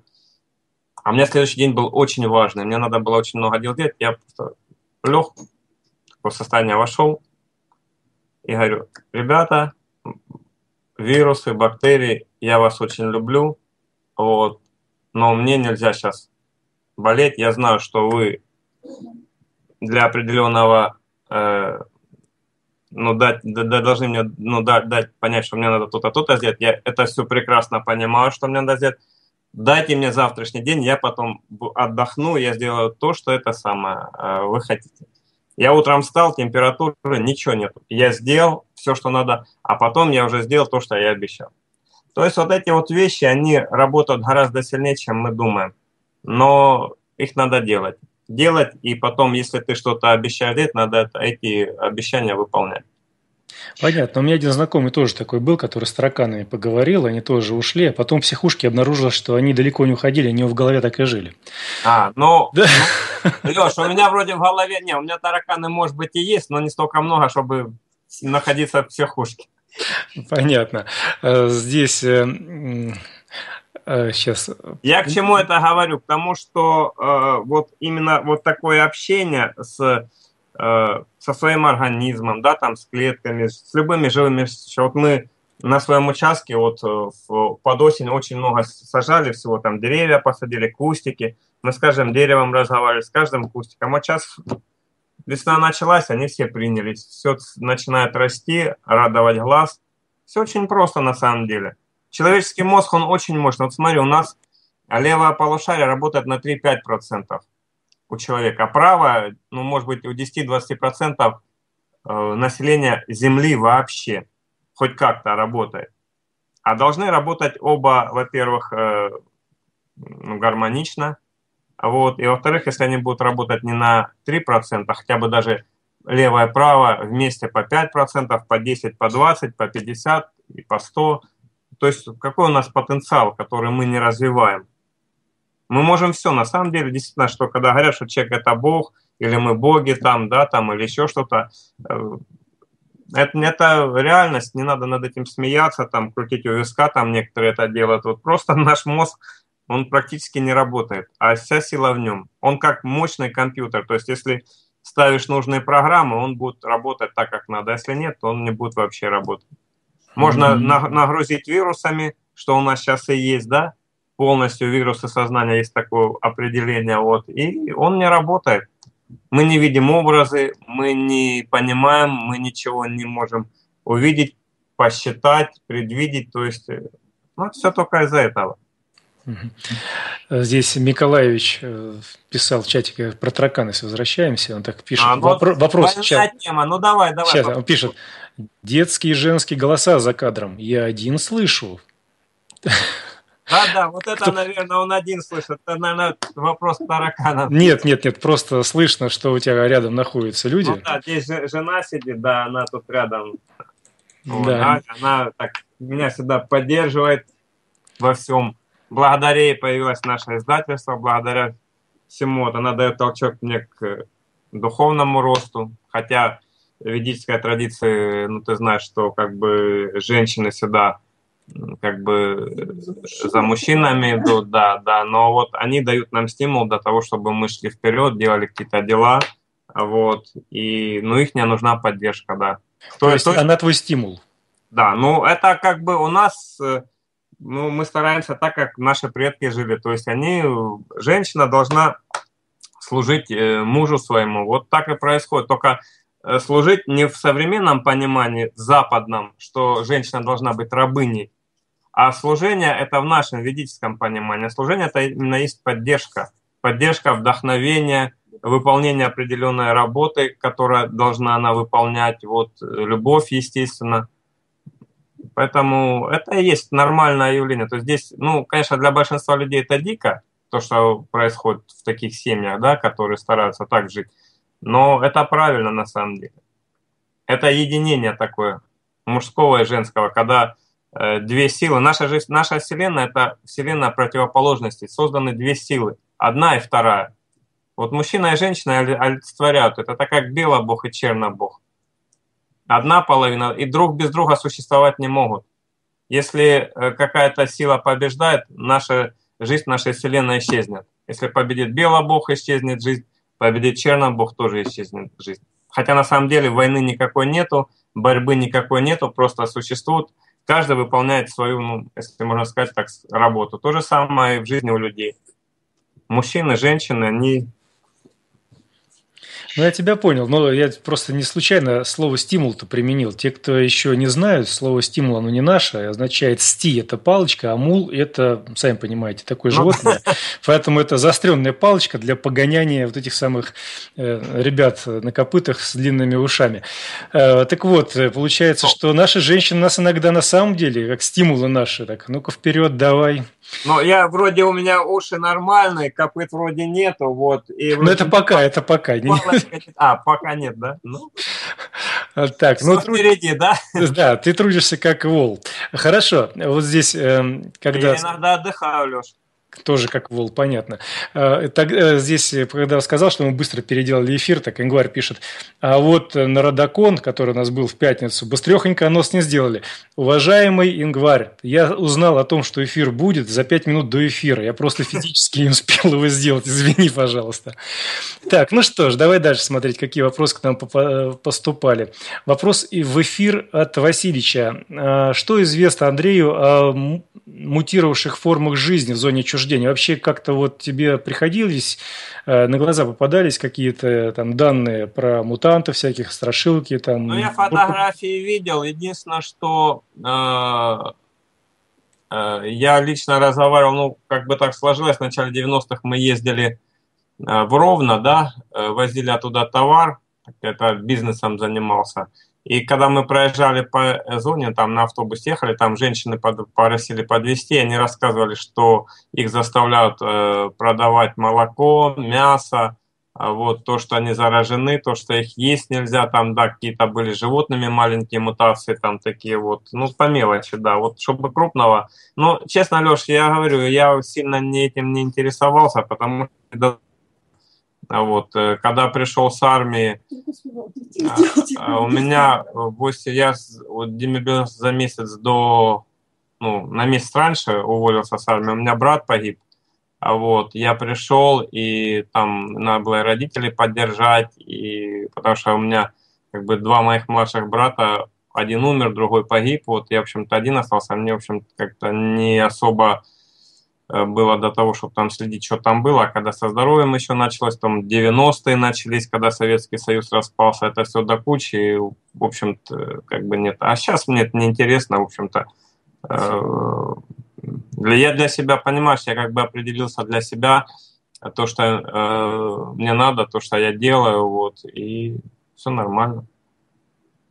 Mm-hmm. То есть, понимаешь, это как бы пройденный этап, который, ну, ну, как бы сказать, э, это опыт, да, это очень, это толчок, пинок, опыт, который нужен был, но именно сейчас вот возвращаться и смотреть, что там вот это вот было, это же все-таки все равно какие-то негативные проявления, они мне как бы уже не интересны. Мне больше интересно такие вопросы, как созидание, то есть чтобы создать, вот мы сейчас там на участке все сажаем, там все для меня, для меня это очень интересно э, созидать, книги созидать, создавать, да, понимаешь, вот это для меня очень важно, очень интересно, то есть я стараюсь работать в созидающем русле, а Чернобыль, он был, в общем-то, разрушающий такой вот негативный аспект.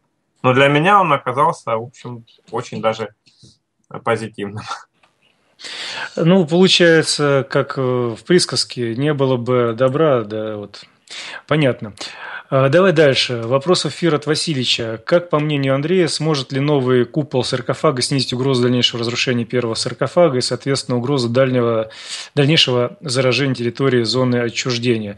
Но, опять же, уже было сказано, что наверное, такие вопросы не совсем тебе уместны. Вот если о том, как, что делать после заражения, наверное, это, надо с тобой об этом говорить. Но по поводу того, что надежно, ненадежно, во-первых, понимаешь, все сводится опять к одному и тому же. Э, если мы будем продолжать жить так, как мы живем, то проблемы у нас возникнут. Э, с этим саркофагом, с другим, это не важно. Вот в Японии бабахнуло тоже, там всем досталось, да. Вот, бабахнет еще где-нибудь на Украине сейчас может тоже бабахнуть, потому что там вообще непонятно, что происходит. А вот, в любой другой стране может бабахнуть. Вот. Поэтому здесь надо говорить не о том, что какая защита стоит, да, а о том вообще, о том, что куда вся наша цивилизация идет. А наша цивилизация идет к гибели. Это однозначно, и все пророки предсказывают, что, в общем-то, к концу этого тысячелетия, в принципе, жизни на Земле не будет. Вот именно Э, на этом плане, где мы сейчас живем. Какой, Это... Какой-то позитивный. Угу. Нет, а на самом деле здесь позитив в чем? Э, позитив в том, что ты э, развиваешься, ты свои вибрации поднимаешь, ты начинаешь перемещаться в другие пространства. Кстати, об этом Трехлебов много говорил. Это так и есть. Я, вот почему вот мы говорили, когда если ты на правильном пути, с твоего э, пути уходят негативные эти, да, э, всякие вещи, да, больше позитивно. Это не потому, что ты прям такой, ну, не то, что как бы мир вокруг, вокруг тебя стал такой хороший. Нет, это ты стал такой, и ты переходишь в другие измерения, которые близко э, к нашему.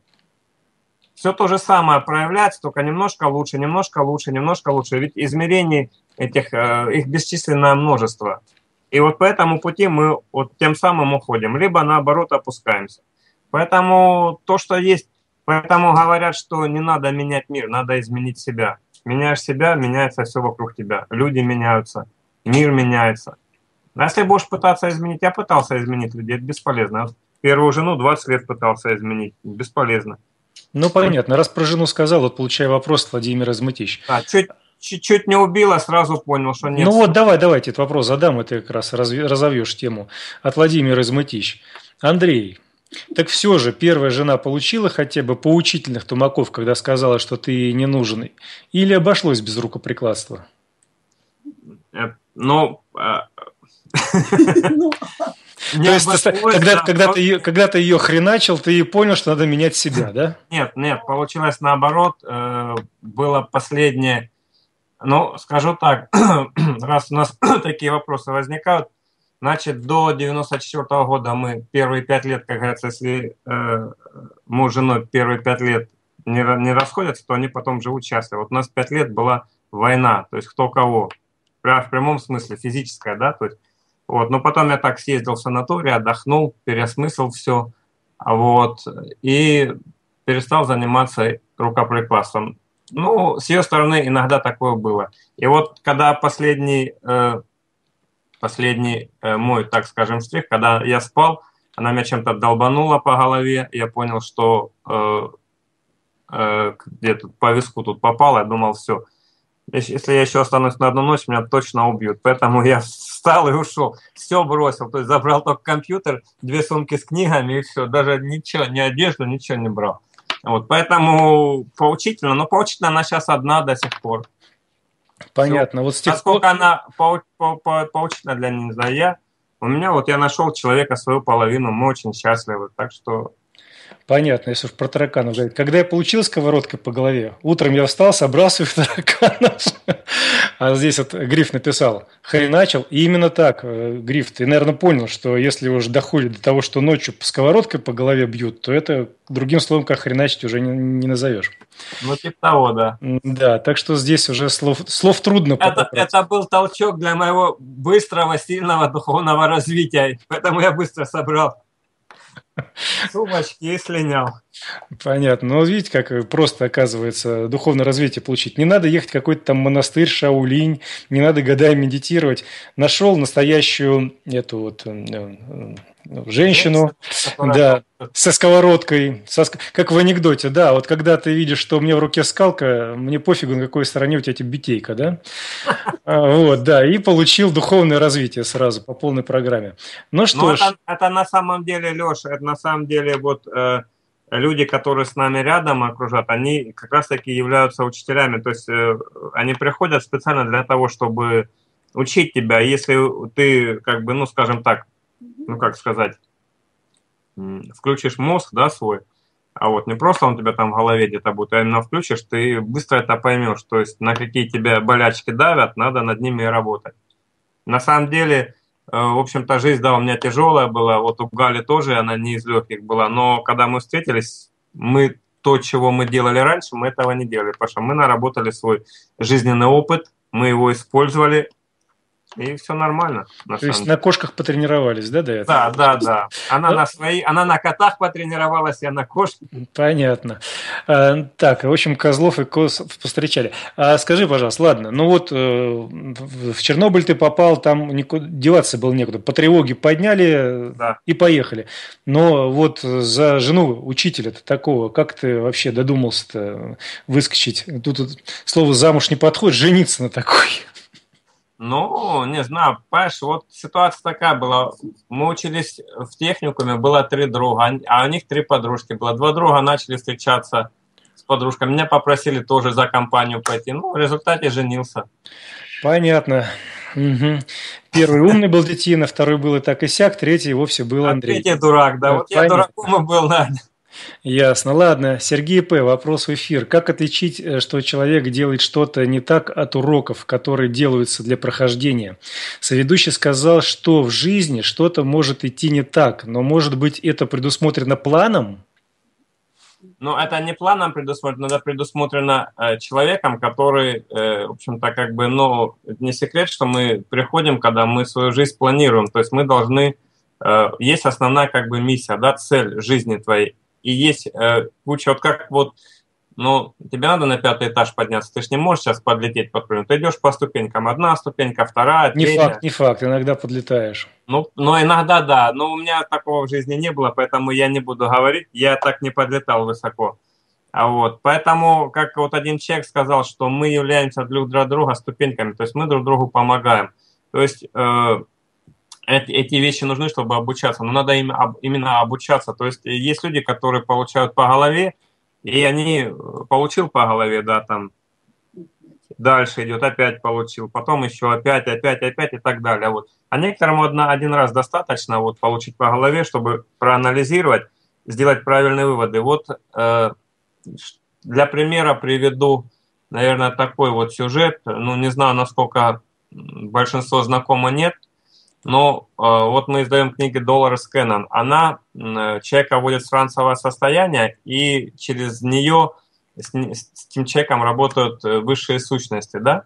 Вот. И есть у нее такая методика, когда она просит в конце сеанса, чтобы эти сущности, ну, сущности, в принципе, это очень высокие сущности, скажем так, сущности, которые являются хранителями всей информации нашей Вселенной, так скажем. И когда она просит человека э, помочь его продиагностировать и исцелить, они делают это. И человек после сеанса там через час-полтора встает абсолютно здоровый. Но есть одно маленькое но. Всегда ему говорят, ты должен сделать вот это вот, скажем, последний штрих, точку поставить. И если человек это делает, к нему болезнь не возвращается. Если он этого не делает, она возвращается. И такие моменты были, когда вот э, одна женщина, я э, знаю человека, который проводил такой сеанс, женщина, у нее был, была онкология, вот, э, рак у нее был, ей э, сделали операцию, вот, но ей лучше не стало, все хуже и хуже становилось.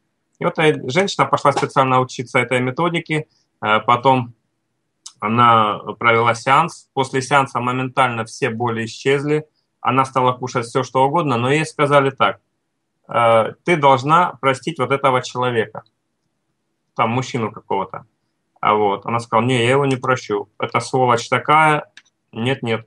А во время сеанса ей показали, что несколько жизней подряд она держала обиду на этого человека, на этого мужчину, и никогда его не прощала. И у нее несколько жизней подряд, она все заканчивала э, раковым заболеванием и умирала. В этой жизни ей сказали конкретно, какой человек, почему все это. Ей сказали, ей помогли, сказали, тебе даем две недели, а ровно две недели, чтобы ты попросила прощения. Она этого не сделала. А вот, она прожила два месяца и умерла от, э, у нее там с печенью было.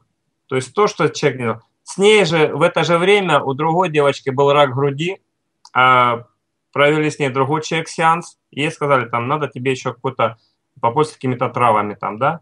А вот она какие-то травы нашла, попользовалась, все, она сейчас здорова, счастливая, все отлично. То есть вот эти вещи, которые э, надо отслеживать и принимать правильные решения. То есть нам всегда дают э, шанс и всегда нам дают э, к этому шансу, как бы, ну, вернее, как бы уроки, да, и к этим урокам всегда дают подсказки. Только мы эти подсказки зачастую не видим. А вот если на, надо научиться видеть их, и вот для этого есть этот вот жизненный опыт. Чем быстрее мы научимся, тем лучше. Понятно. Так, у нас приближается музыкальная пауза, хотя по, по сложившейся традиции я музыку не ставлю, в момент, когда мы отвечаем на вопросы.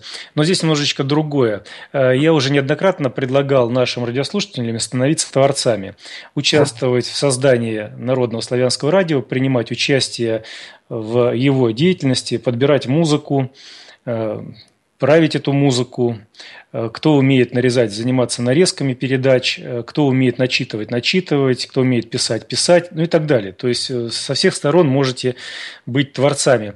И вот у нас есть уже некоторые успехи, хочу поделиться с вами. Готовится программа к 9 мая. В принципе, кое-что уже сейчас звучит. Звучит у нас каждый день несколько раз. Это по сводкам информбюро, Совинформбюро. И это музыка звучит, стихи о войне и передачи. Вот как раз сейчас на 4 минутки хочу поставить передачу, которая была подготовлена силами э, людей, которые вот просто решили сделать, давайте запишем вот такую вот передачу. Ну, давайте запишем. Вот смотрите, что получается.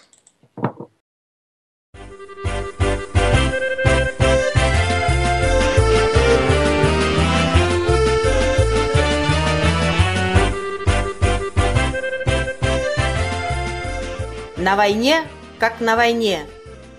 Невероятные и курьезные истории военных лет.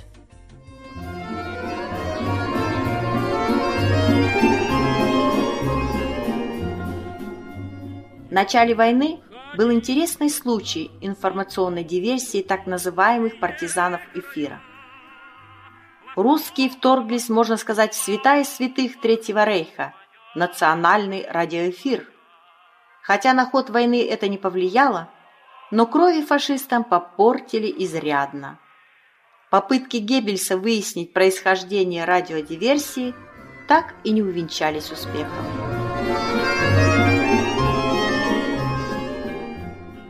Занятная радиостанция.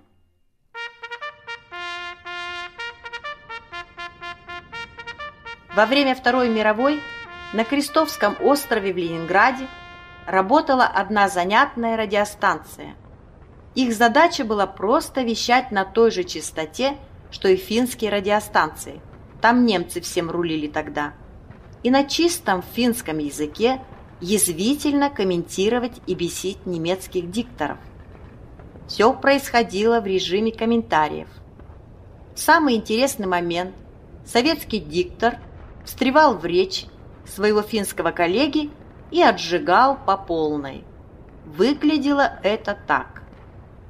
Финский диктор произносил что-то вроде «А сейчас прослушайте последние новости». Тут вступает советский диктор и на чистейшем финском добавляет «Ну не последние и не новости, а очередное геббельсовское вранье». Далее шла пачка свежих анекдотов про Гитлера и советская точка зрения на немецкие новости. Как то. Геббельс начал фабриковать колоссальную ложь. Ослиные уши Геббельса высовываются каждый раз, когда он начинает доказывать недоказуемое. Почитать немецкие газеты и прежде всего статьи Геббельса, так и впрямь на свете нет больше друзей правды, нежели гитлеровцы, и более страстного искателя истины, нежели урод и лжец Геббельс. Геббельс из-за своего карликового роста любит все колоссальное. Огромные кабинеты, грандиозные диваны, картины во всю стену. Для изображения немецкого героизма требуется посредственный журналист и четверть шнапса. Самим финнам это очень нравилось. Вся Финляндия с нескрываемым любопытством слушала советские комментарии и веселилась от души.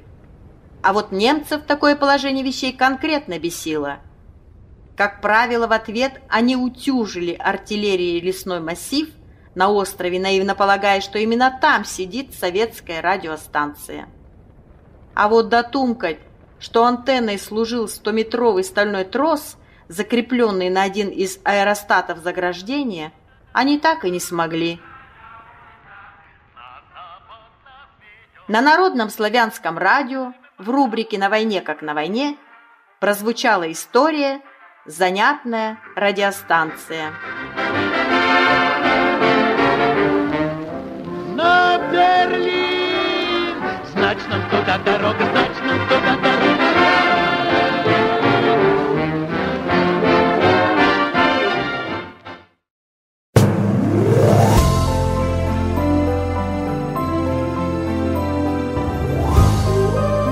Слушаете Народное славянское радио.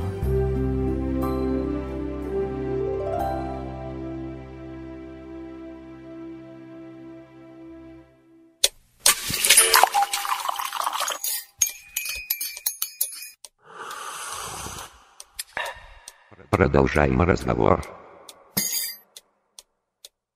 Продолжаем разговор на Народно-славянском радио. Напомню, что по одному из современных календарей 26 апреля 2016 года вторник, по одному из старинных 15 день месяца посева наречения 7524 лета Осьмица. Чернобыль. Я выбираю жизнь. Такова тема сегодняшнего нашего эфира. Главный ведущий Андрей Сияющий. И хочу спросить у наших радиослушателей, как вам творчество наших друзей, которые просто решили быть творцами, просто решили вот придумать такую рубрику, искать интересные такие вот моменты, которые на войне случались, и создавать такие небольшие миниатюры на войне, как на войне. Вы, вы тоже можете принять участие и стать творцом, создателем. Для этого не надо быть семипядей во лбу, достаточно быть просто человеком, которому интересно что-либо делать, творить. Пожалуйста, в чате напишите, понравилось, не понравилось. Ну что ж, давай дальше будем продолжать разбирать вопросы, которые Давай, нам поступили. Ну, Итак, кстати, Леш, сейчас одну секунду, давай там тогда э, докончим тот вопрос. давай докончим.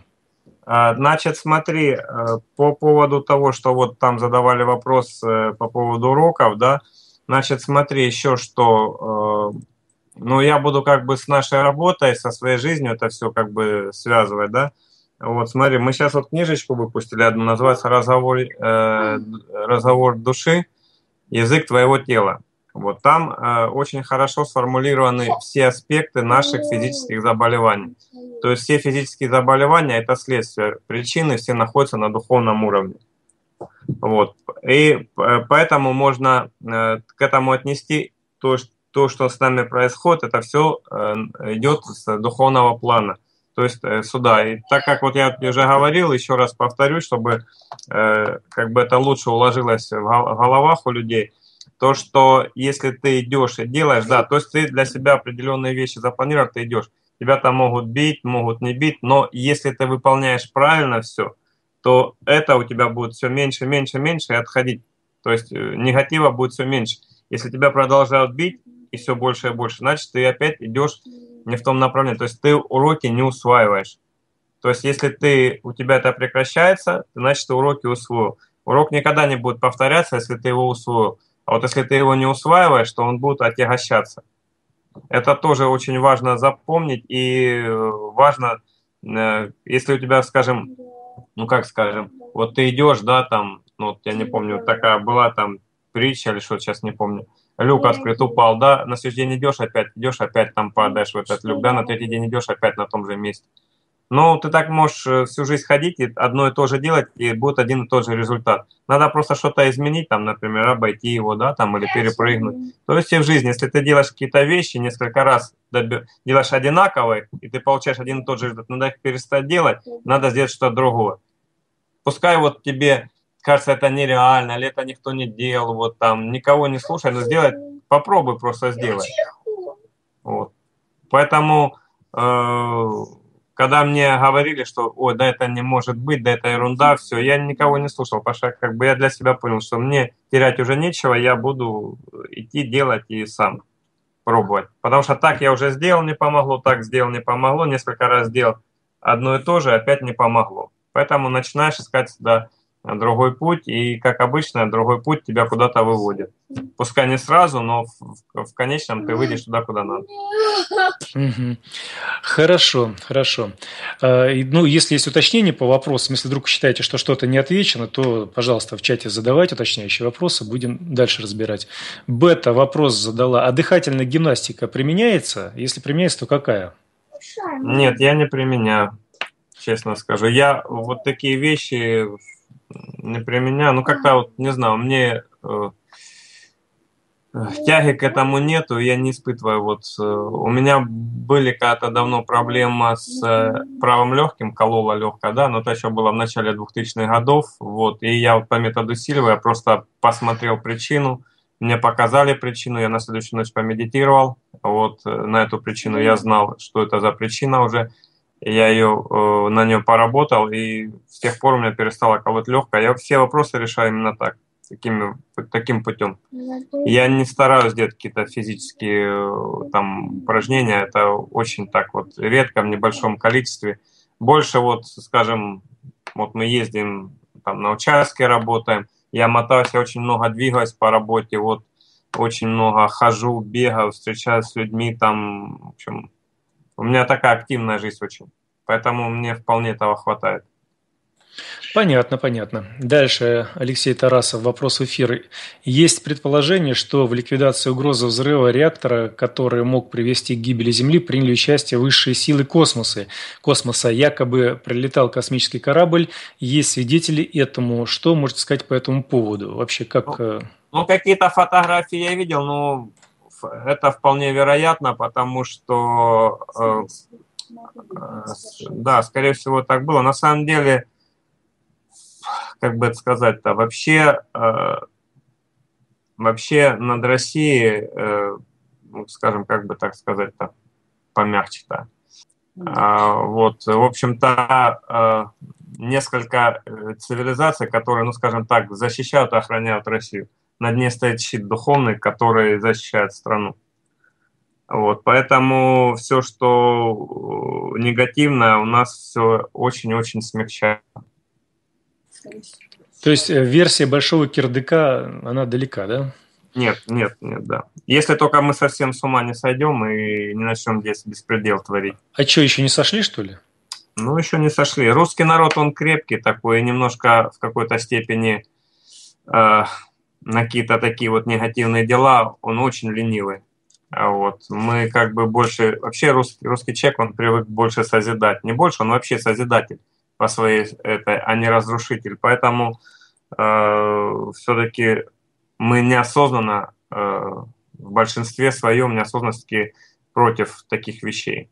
Ты знаешь, и вот как-то ты говоришь, как будто с другой планеты на самом деле пролетел. Вот даже есть анекдот такой, когда в один из дорогущих э, моделей, в одну из дорогущих моделей автомобилей японцы поставили черные ящики, чтобы знать причину, почему разбиваются. Ну, там э, американцы из одного разбиваются, французы там по любви разбились, а русские разбиваются, потому что «А смотри, пацаны, как я могу», да?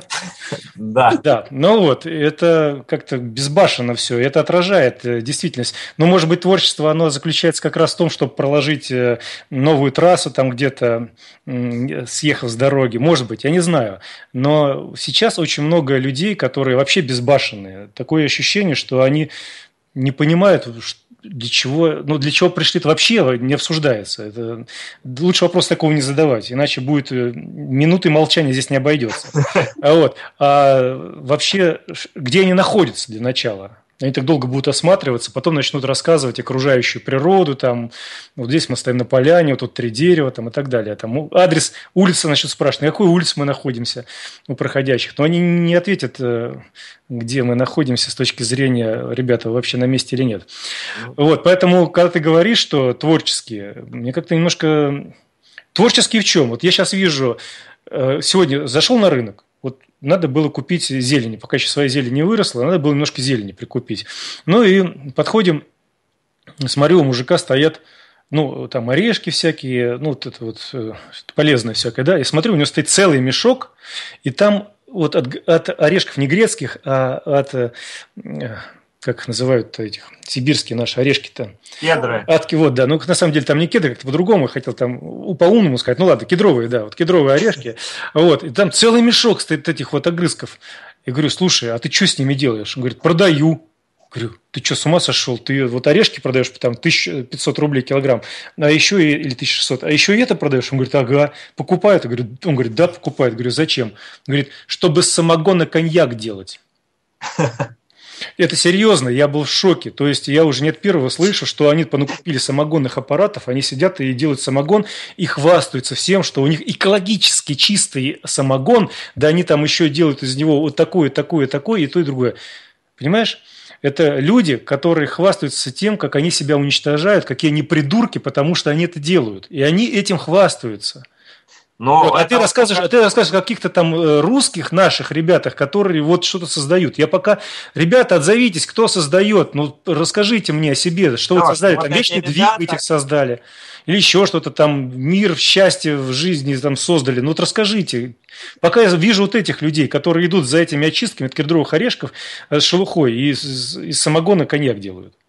Леш, смотри, на самом деле это процесс творческий, созидательный, да, они делают. Вопрос в том, что, а, как Задорнов говорит, у них вектор в другую сторону повернут. То есть а, их сейчас нас многих запутали, нам показывают, что западная цивилизация хорошая, да, э, то, что э, Запад там, он вообще не цивильный, а мы тут варвары, да, когда Кирилл с Мефодием пришли, мы слезли с пальм, на которых сидели бананы ели, они нам дали письменность, а вот, и многое другое. Да, сейчас вообще, да, после распада Советского Союза вообще России там сколько, 25 лет, даже меньше, наверное, вот, то есть вообще страна, считай, только что родилась. Поменяли вектор, люди многие не понимают. То есть вот то, что еще Аллен э, Даллас в 1945 году был, будучи союзником Советского Союза, они тогда приняли эту доктрину, когда сказали, что мы можем победить русских, только э, мы их не можем победить они могут победить сами себя. Мы им подменим просто э, ценности. Да, все, что ценно, мы это затопчем грязь, все, что пошло, мерзко, мы это будем э, превозносить. А вот и молодежь будет э, считать, что она это сама делает, потому что считают, ну, на самом деле она будет то, что говорят, э, мы говорим, вот, и будут единицы, кто будет это понимать. Но мы этих людей тоже втопчем в грязь. Вот все, что происходит сейчас. Сейчас молодежь думает, что она крутая, умная, а вот э, что они цивильные, цивилизованные такие, вот то, что мы тут тупые все, да, а вот и все прочее. На самом деле надо время, люди разберутся со всем этим, вот, а русский человек, он по своим духовным качествам, вообще по своим внутренним качествам, он, э, ему чужда западная цивилизация, для нас она вообще чужда. Поэтому э, происходит нестыковка духовного, внутреннего и внешнего мира, которая вот и сейчас получается это ну как бы вот такая каша. На самом деле все нормально. Если сейчас э, у нас э, ну как бы ну это быстро не произойдет, если ну сейчас меняется все потихоньку, медленно, но очень меняется. Вот все-таки посмотри, больше людей интересуются нашей культурой, больше хотят возродить, да, там какие-то вещи. Пускай это может быть, в глобальном плане ничего не решают, но уже какие-то есть такие. Очень много молодежи стало, которые э, не пьют, не курят, да, вот, и для них это очень важно, это ценно очень, а вот, э, что еще? Но много таких людей, особенно это вот, да, в Москве таких людей тяжело найти, вот, а если ты уедешь туда дальше, в глубинку куда-нибудь, в Сибирь, там много людей. У меня там вот родственники живут, тетя со своей женой. Они совсем другие люди, абсолютно. То есть они отличаются от нас и от тех, кто живет здесь. Вот. Поэтому не надо так думать, что все кончено. Ну, людям время надо. Сейчас, конечно, они вырвались, э, когда показали, да, вот вы можете кучу денег иметь, э, иметь все, что хотите, но на самом деле большинство людей начинают зарабатывать. Я сам занимался бизнесом, могу сказать, да, то, что я приехал, у меня дочка родилась, еще раз приехал, она уже э, читать начала, еще раз приехал, в первый класс пошла. Ну так, я утрирую, конечно, но по большему счету, уходишь рано, приезжаешь, уходишь, она спит, приходишь, она спит уже, да, то есть нету никакой жизни, то есть это, это несчастье. То есть вот эти все вещи, они отойдут, люди будут разбираться потихонечку, э, кто там гонится за чем-то, оно все отойдет. Потом, э, давно, очень много лет назад, очень в какой-то книжке прочитал, прочитал, что вообще наша цивилизация управляют, любой цивилизация, которая была на Земле, 20-30% человек, то есть э, которые, вернее, держат, не управляют, а держат. Ну, это не имеется в виду те, которые там вот всякие говорят, комитет 300 там и так далее, там еще чего-то, вот, нормальные люди, я имею в виду. Вот. Но, кстати, вот недавно у Нарбекова в книжке прочитал, «Опыт дурака», третья, по-моему, книжка, вот, читал так, в том году, по-моему, так, посмеялся, он мне нравится, он такой смешной, поднимает все время настроение. Вот, э, что если 80%, 70-80% людей убрать земли, то ничего не изменится. Я даже могу сказать, что будет еще лучше даже. То есть это те вопросы, которые, ну, как бы в догонку, если сказать, вот мне, мне приходила информация, и потом э, три человека мне еще подтвердили эту информацию, что на Земле где-то около 20-30% людей, 50% биороботов, остальные это представители внеземных цивилизаций. Поэтому люди и чудят. Людей мало на самом деле, тех людей, именно которых можно назвать человек, их мало. Если ты ходишь на двух ногах, две руки есть, голова там, это не значит, что ты человек. Это просто тело, оболочка, костюмчик. Человекообразная. Человекообразная, да. Просто живая сущность какая-то есть. Вот и все. Ну, на, и самом, на деле... самом деле, если мы сейчас э, окунемся в далекое-далекое прошлое, когда создавался Адам и Ева, да, и Адам и Лалит была первая, вот, то в те тела э, в сущности вселяли, то есть делали тело, в нее сущность вселялась.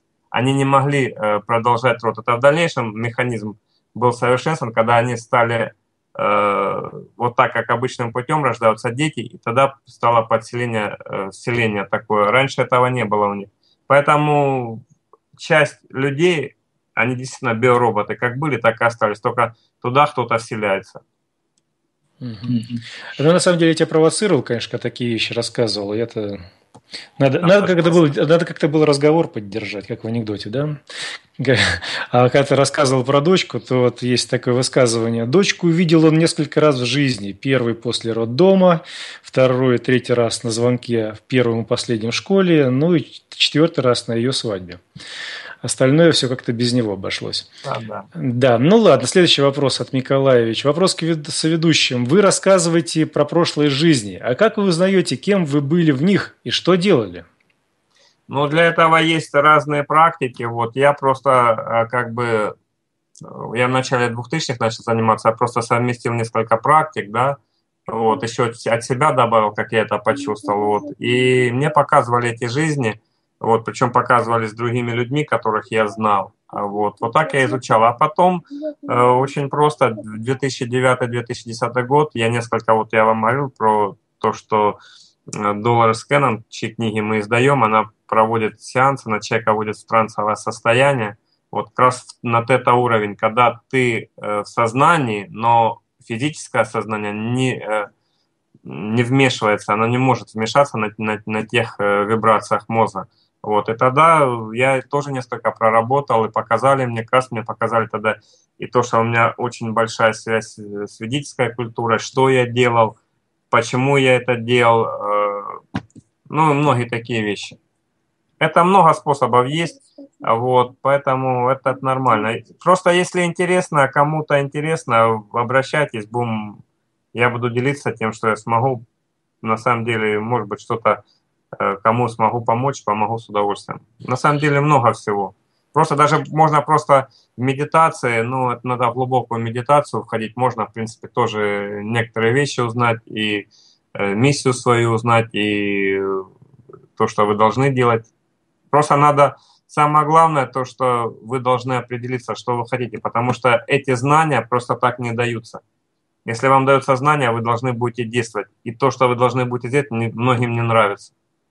Потому что очень часто приходится, э, э, можно расстаться со своими близкими, можно э, разрушить с ними отношения какие-то, может быть, все что угодно произойти. Здесь надо понимать, вернее, не понимать, а осознавать, для чего вы хотите получить. Это не игрушки, это не шутки, что там посмеялся, похлопал ладошки, попрыгал на одной ножке и все, и там все это нет. Это безболезненно не пройдет. То есть надо серьезно, если вы хотите изучать серьезно свою прошлой жизни, то есть серьезные методы, будьте готовы к изменениям своей жизни. Если готовы, то пожалуйста. Хорошо. Сергей, сын Леонида, задает вопрос в эфир. Что для вас является благо в отношении Чернобыля? Благо? Ну, я же рассказывал то, что э, мне показали, как ценна жизнь, и благодаря этому я стал... Э, то есть я нач, когда начал играть, я понял, что я хочу жить. Вот, э, кроме, в общем-то, моих родителей я никому не нужен был. Я тоже это понял.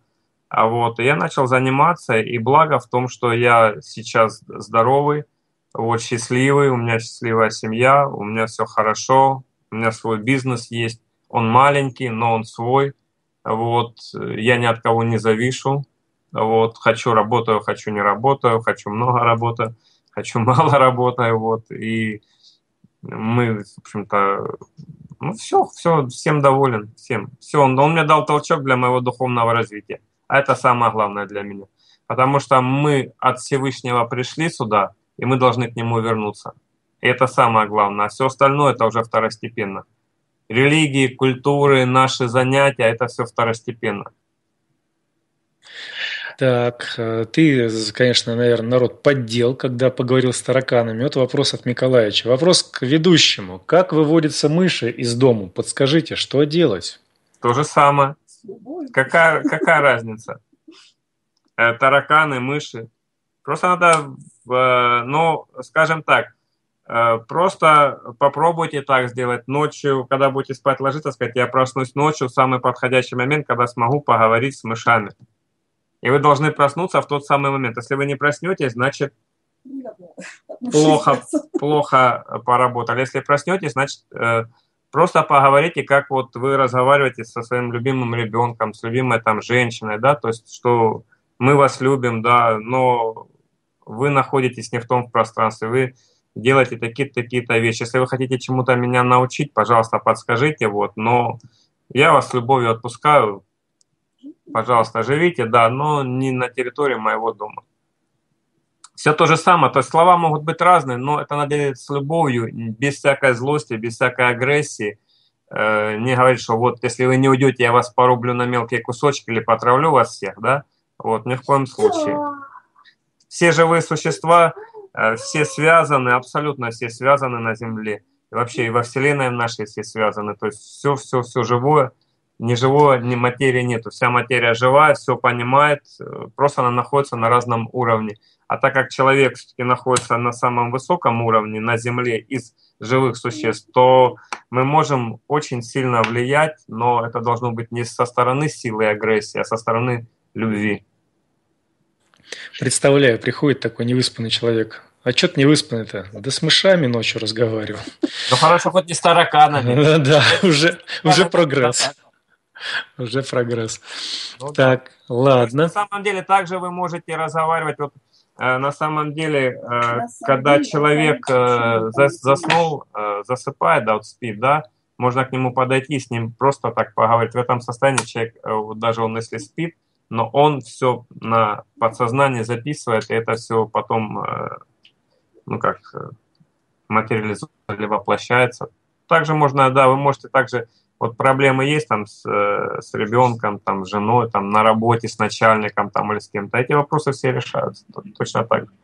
Заходите в это состояние, я говорю, вот почему вот метод Сильва очень хорош, он позволяет очень сильно расслабиться, раз, и второе, там не просто медитация, когда ты сидишь там и балдеешь, да, а именно динамическая, то есть это когда ты своей силой мысли, своими образами можешь изменить реальность.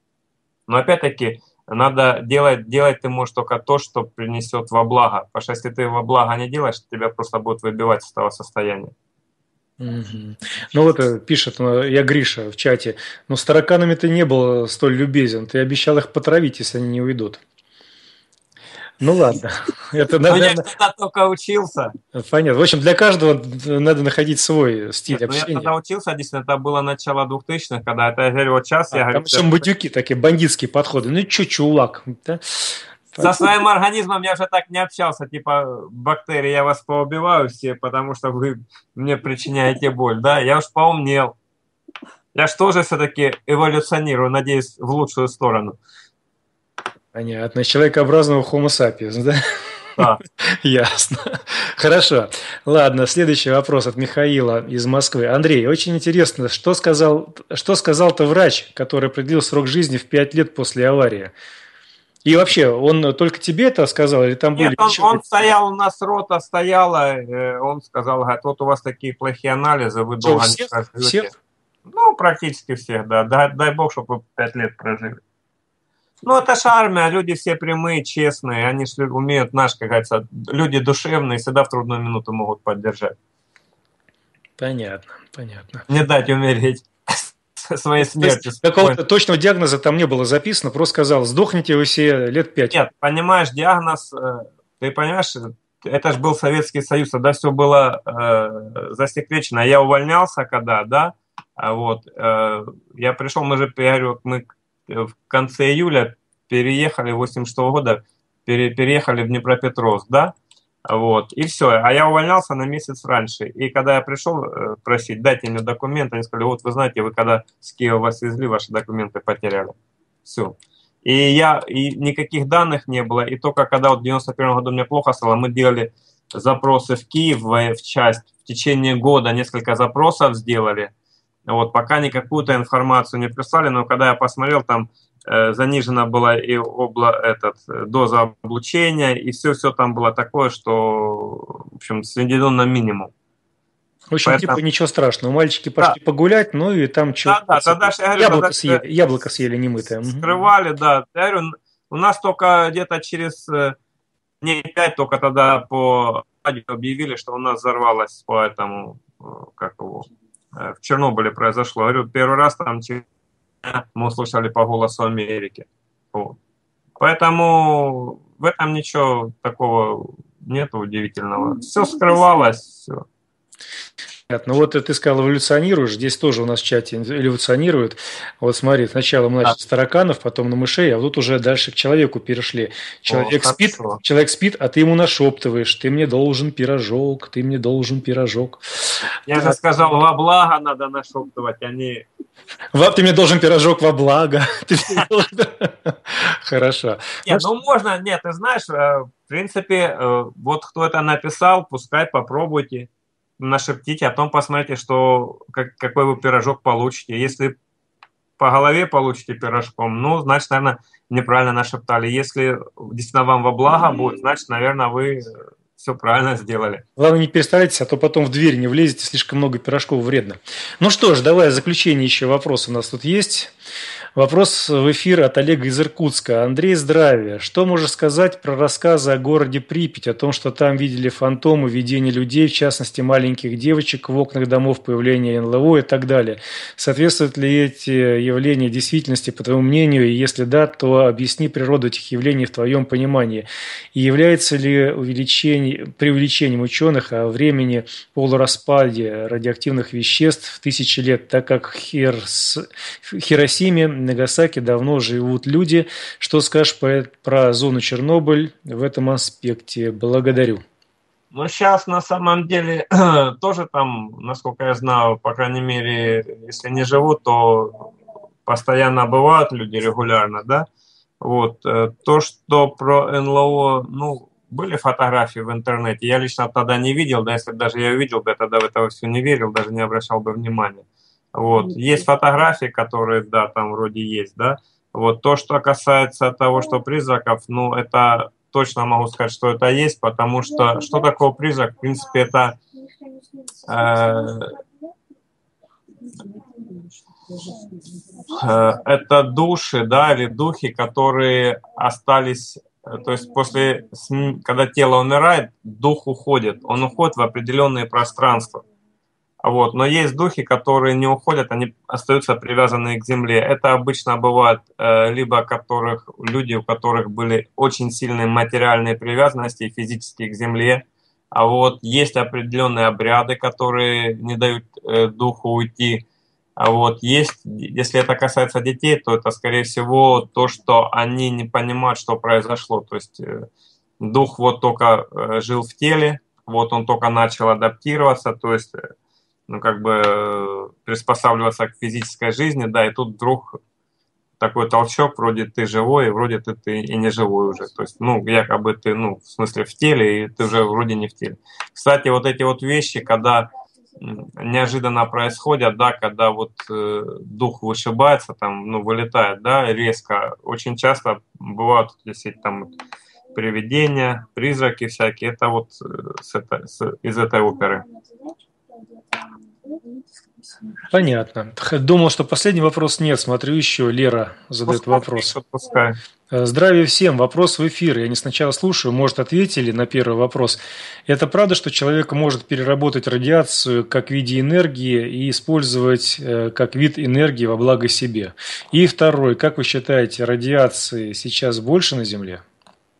Конечно, больше, однозначно. Ну, понятно, со вторым все ясно, а с первым вопросом? Значит, с первым, значит, э, опять-таки, э, вот смотрите, мы будем возвращаться, вернее, надо возвращаться к одному и тому же, к нашему духовному развитию, к нашему сознанию. То есть, на самом деле, радиация, она как созидающая, может быть, так и разрушающая. В моем плане она как созидающая. То есть, э, благодаря ей я исцелился вообще от всех болезней. То есть на меня был толчок. Для некоторых это смертельно. То есть убивает. Во-первых, э, человек, понимаешь, вот если ну, э, человек с высокими вибрациями, ему, ему не страшно ни радиация, ему ничего не страшно. Он это сможет, он это сможет, э, ну как сказать, ну, в общем, на нем это не будет отражаться, на него влиять не будет. То есть и клетки не будут подвержены излучению, ничего. То есть это будет нормально. Но вот, кстати, э, Джуна в свое время, она чернобыльцев лечила, и она за неделю, помню, был такой эксперимент, она за, за неделю подняла 10 чернобыльцев, полностью их исцелив. Вот, и там забыли и про радиацию, про все остальное. И в это же время э, простые врачи лечили 10 человек обыкновенных, которых уже в живых нет. То есть надо понимать, у нас все, когда вы о чем-то говорите, спрашиваете и думаете, первое, о чем вы должны думать, это о духовном аспекте. Все связано только с этим. Если ваши вибрации и уровень сознания высокий, вы сможете любую радиацию, любые проблемы пережить. Если нет, то оно будет на вас воздействовать и все. Здесь на самом деле все очень просто. Вопрос в том, что как добиться этого, это уже другой вопрос. Но это реально. Это я вам сто процентов говорю. Так мы с тобой договоримся, что люди будут покупать обогащенные ураны, ураны просто по утрам 100 э, грамм или там 5 грамм, не знаю, или 1 грамм принимать ну, вместо пускай завтрака. Пускай попробуют, пускай попробуют, я не знаю. Хорошо, здесь уже На тебе... самом деле надо, мы видишь, Леш, опять, как бы я понимаю, что это шутка, но опять сводится к тому, что мы начинаем делать какие-то э, вещи физические, то есть мы пытаемся работать со следствием, надо с причиной работать. Когда ты знаешь причину, вот почему э, хорошо, я говорю, вот, узнать э, причины, по, как, по каким вещам что-то происходит. Когда ты знаешь причину, она уходит. Вот я говорю, что я не мог, да, скажем, решить какие-то свои проблемы, да, потому что я не знал причину, но я не мог, вот, ну не мог, никак. Я пытался силой, насильно все это делать не мог. Но когда я только знал э, причину, просто хватало вот так, наш, как бы так, делать двумя пальцами практически, все, и все, и все уходит. Поэтому надо знать причину, добив... Э, ее, ну, искать эту причину. А причины все находятся на духовном плане. Физически это, это чисто уже э, следствие, это уже второстепенно. Это касается всего. Но ты, когда ты рассказывал обо всем, ты еще не сказал, а помимо там, мыслей, ты еще не сказал, что и питание было изменено. Ведь до того ты питался всем, наверное, подряд, судя по всему. Ну, а питание, да, да, но питание как? Понимаешь, вот когда... Питание, это важный вопрос, да, хорошо, что ты его задал. Но, скажем, э, когда я э, до того как, да, то есть раньше, когда я только пришел с Чернобыля, да, когда мне плохо стало, э, да, я, ну как я питание, я тогда питание не знал, я тогда о питании ничего не знал, и мне особо не говорили, вот. Но э, то, что могу сказать точно, что, да, действительно, э, вот эти вот Э, все радиоактивные вещества, они очень долго распадаются. Там есть и до 3000, до 300 лет, там и больше, может быть, есть. Вот они действительно долго, но они выводятся с организма. Э, в общем, хорошо, насколько я помню, выводятся красным виноградным вином, только натуральным, не магазинным, которое без спирта, без ничего. Петрушка хорошо радиацию выводит. Вот. Вообще петрушку, сельдерей очень полезно есть, особенно для мужчин. Рекомендую. Вот. Э, и вообще зелени больше есть. Я сам как бы с Кавказа, да, вот меня бабушка, она у меня армянка, она меня приучила с детства есть зелень. То есть я траву ем всю там, есть, ну почти всю. Вот, и я всю жизнь ее ем. И трава, она дает энергию, здоровье дает, она силы дает.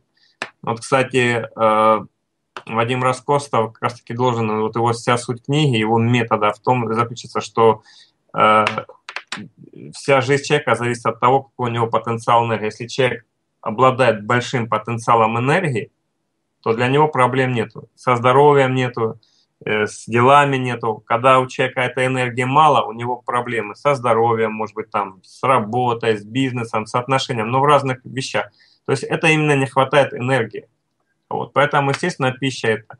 Сейчас, да, сейчас я знаю, что э, многие виды пищи вообще не очень вредны. Мы можем говорить как с, э, как бы скажем, как бы с духовно с духовной стороны, да, то, что там живых существ убивать не надо, да, там мясо есть вредно. Можно раз, разговаривать чисто с медицинской точки зрения, а, то, что какие продукты есть, не есть. Я вот уже говорил, то, что да, если там по утрам на солнышко смотреть, то у вас рацион меняется очень сильно, он становится более легким. Вам не хочется есть тяжелую пищу вообще.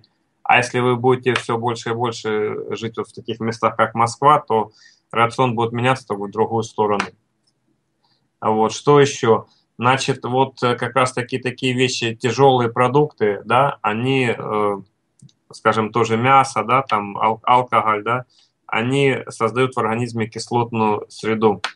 А эта среда очень э, благодатна для э, развития различных заболеваний, микробов, вирусов. Очень хорошо онкология, онкологические клетки развиваются, когда э, организм кислотный. Поэтому очень важно поддерживать этот кислотно-щелочной баланс, вот, и даже чуть-чуть, может, может быть, чуть-чуть в сторону щелочного, потому что сейчас очень много продуктов, вот эти все заменители, то, что мы сейчас едим, все, они все создают кислотную среду в организме. То есть дают э, толчок для мощного развития э, различных заболеваний. Угу. Поэтому это очень вредно и ну, Ну, надо, надо просто поискать, есть очень много. У нас книжка одна выходила там, тоже есть э, ну, про рак, как человек исцелился от рака. Вот там одна глава посвящена питанию полностью. Там очень подробно он описывает, вот вплоть до того, что надо просто брать лакмусовую бумажку и замерять под языком кислотность слюны, смотреть, вот на самом деле, если так.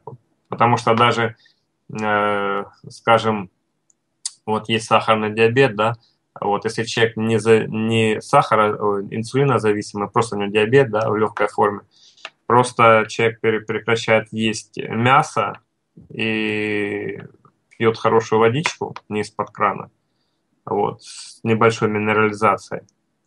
Вот, и у него за 3-4 месяца сахарный диабет проходит полностью.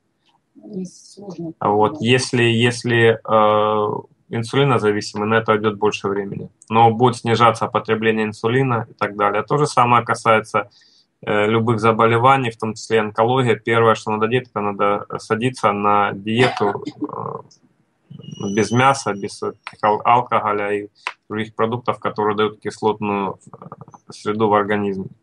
Ты когда сказал про то, что вино помогает выводить э, вот эти радиоактивные вещества, это один из мифов, который был придуман не так давно на самом деле, поэтому он уже Может. был доказано, что ничего там не выводится. Так что... Ну, на самом деле, на самом деле виноград очень полезен. А но... вот виноград, виноград сам, да, здесь вопросов нет. Его даже можно есть с этими, этими зеленые эти, как вот веточки маленькие, которые остаются около, ну, с ягодками. С ними можно съедать, он очень полезен, он очень он очень мощный антиоксидант, вот, поэтому... Ну да, виноград это, это отдельная песня, мы просто говорим, что есть виноград, есть виноградный свежевыжатый сок, есть сок, который, сок. Уже, который уже не сок, а который нам говорят, якобы это сок, есть нектар, который вообще там не пойми что, а есть вино, это то же самое уже переработанное бактериями, где куча мочи от этих бактерий, грибков, называемых дрожжами, дрожжевых бактерий. Вот, так что здесь огромное количество мифов вокруг вокруг алкоголя. Но все мы прекрасно понимаем, что если, конечно, задуматься начинаешь, что это все больше мифы, которые рассчитаны на то, чтобы человек больше начинал выпивать и себя разрушал, нежели чем лечиться. Хочешь вылечиться, ешь э, нормальный свежий виноград, причем не тот, который где-то уже обработали, тебе привезли э, в течение месяца, он к тебе ехал, а тот, который вот на месте растет. В лучшем случае у себя вырасти в саду. Так, дальше. К тебе Но уже... Иногда, сейчас, Леша, одну секунду, иногда, иногда Э, есть заболевания, когда иногда надо какие-то вещи да, делать, которые ты обычно действуешь, как бы, я не говорю, что там лечиться алкоголем, да, но для профилактики иногда э, э, делаются такие вещи, которые обычно не делаются, то есть на очень короткий срок. Это, это очень работает, в общем-то, в принципе, хорошо, вот, но это можно на, на очень короткий срок какие-то вещи делать. Таки, такой, такие практики тоже есть, и ну, можно это делать. То, что давай так, мы когда говорим про лекарства, все-таки должны говорить, что это лекарство. Любое лекарство, оно определяется четкой дозой, оно определяется четким курсом и так далее. А у нас в России, как правило, да и вообще к наркотикам относится очень просто. Если он по шарам бьет, то значит его все больше и больше употребляет. Вот любой наркотик, он первым делом чем характеризуется, что без него уже тяжеловато жить, без него уже расслабляться невозможно, и доза требует увеличения. Вот это вот показатель наркотика. Поэтому я в передачах сознательно Э, сознательно говорю всегда о том, что алкоголь в любом виде – это в первую очередь наркотик и яд. Если мы говорим про лечебные какие-то, кто-то, вернее, говорит про лечебную его направленность, будьте любезны, предоставьте точную дозу, точный курс, да, какое соотношение и так далее. Вот если это не предоставляется, то это, считаю, я расцениваю как скрытая форма алкоголизма и эм, э, рекламы алкоголя. Вот, поэтому здесь вот надо четко подходить. Если мы говорим про лечение, то вот в лечении должны присутствовать такие моменты. Иначе все это просто защита алкоголизма своего собственного в первую очередь или скрытый алкоголизм. Так, дальше. Согласен, согласен, я да, с тобой согласен. Да, вот здесь э, Николай спрашивает, а обратиться к тебе за помощью в исцелении вообще можно или нет? Ну, я как бы не исцеляю, я просто делюсь своим опытом, даю те методы, которые мне помогли, вот вам надо пробовать. Понимаете, я вначале сказал, что ну, у меня не, не, не было цели там, да, кого-то лечить или еще что-то. То есть я никогда не записывал э, рецепты какие-то там, сделай это, потому что, во-первых, это индивидуально, Вот я просто могу поделиться э, своим опытом, какие-то вещи мы можем разобрать, что-то я могу посоветовать, потому что как бы не только здесь важны э, физические аспекты, здесь и духовные могу какие-то вещи под, подсказать, вот поговорить, вот, но на самом деле я э, дам просто направление, в котором вам надо двигаться, чтобы вы могли, э, Паша, работать вам надо. Потому что без, самое главное это ваше участие, вы должны делать. И для каждого человека э, ну, свои критерии выздоровления будут исцеления. А поделиться могу тем, что знаю, с удовольствием. Если это вам хоть немножко поможет, буду очень рад. Хорошо.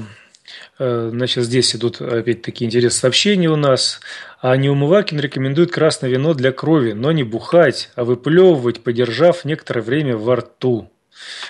Э, ну, Тогда, хор... может быть, внутривенно вводить. Э, нет, нет, именно не, не внутрь, а подержал и выплюнул. Но я знаю людей моего возраста, которые лишились многих зубов. Они любили подержать так, это, посмаковать спиртным, а потом что-то у них зубы начинали выпадать. Вот, так что имейте в виду, те люди, которые не пьют и не курят, у них зубы, как правило, крепкие. Есть, конечно, генетически там что-то не испорчено. А конфеты с ромом тоже. Гриша, да, конфеты с ромом тоже. Э, дальше. Вопрос эфира от Григория из Москвы. Как понять, какая у меня вибрация? Кстати, да, я себе этот вопрос записал, хотел тебе задать, но раз уж Григорий, о, да, Григорий задал, то давай ответим. А чем можно померить вот эти самые герцы, мегагерцы, гигагерцы и все остальное, которые, на которых твой мозг э, вот, вибрирует? Этот, но это есть специально в поликлинике можно пойти померить, есть приборы такие, они меряют, э, измеряют как вибрации мозга. Вот. Но вы просто делаете, зачем вам ходить там мерить, но если, конечно, вам цифры нужны, если у вас, как бы, скажем, левое полушарие в этом нуждается в цифрах, а оно нуждается в цифрах, вы можете сходить, вот, а вообще просто займитесь, э, можно любыми медитациями, ну, вот, и у меня это метод силы очень сильный, хороший способ. Вот, и смотрите по своей жизни отслеживать, если у вас вибрации будут подниматься, у вас будет больше позитивных вещей происходить, меньше негативных, и, и через какое-то время они должны исчезнуть. Если наоборот, значит ваши вибрации понижаются. И все очень просто. Будете начинать болеть, значит э, вибрации падают. Перестаете болеть, вибрации поднимаются. Все очень просто. То есть живете правильно, в ладу с природой, и ваш организм здоров. Да, кстати, а... вот это самое. Тогда мы вначале посмеялись, это что там э, перед первой перерыв, этой паузой музыкальной, которая что там типа, представляешь, у меня Кришнаи там, которые ходят, да, улыбается, там, в бубен стучит, да, там. Ну, хорошо, что не другим в бубен-то, ну, хорошо.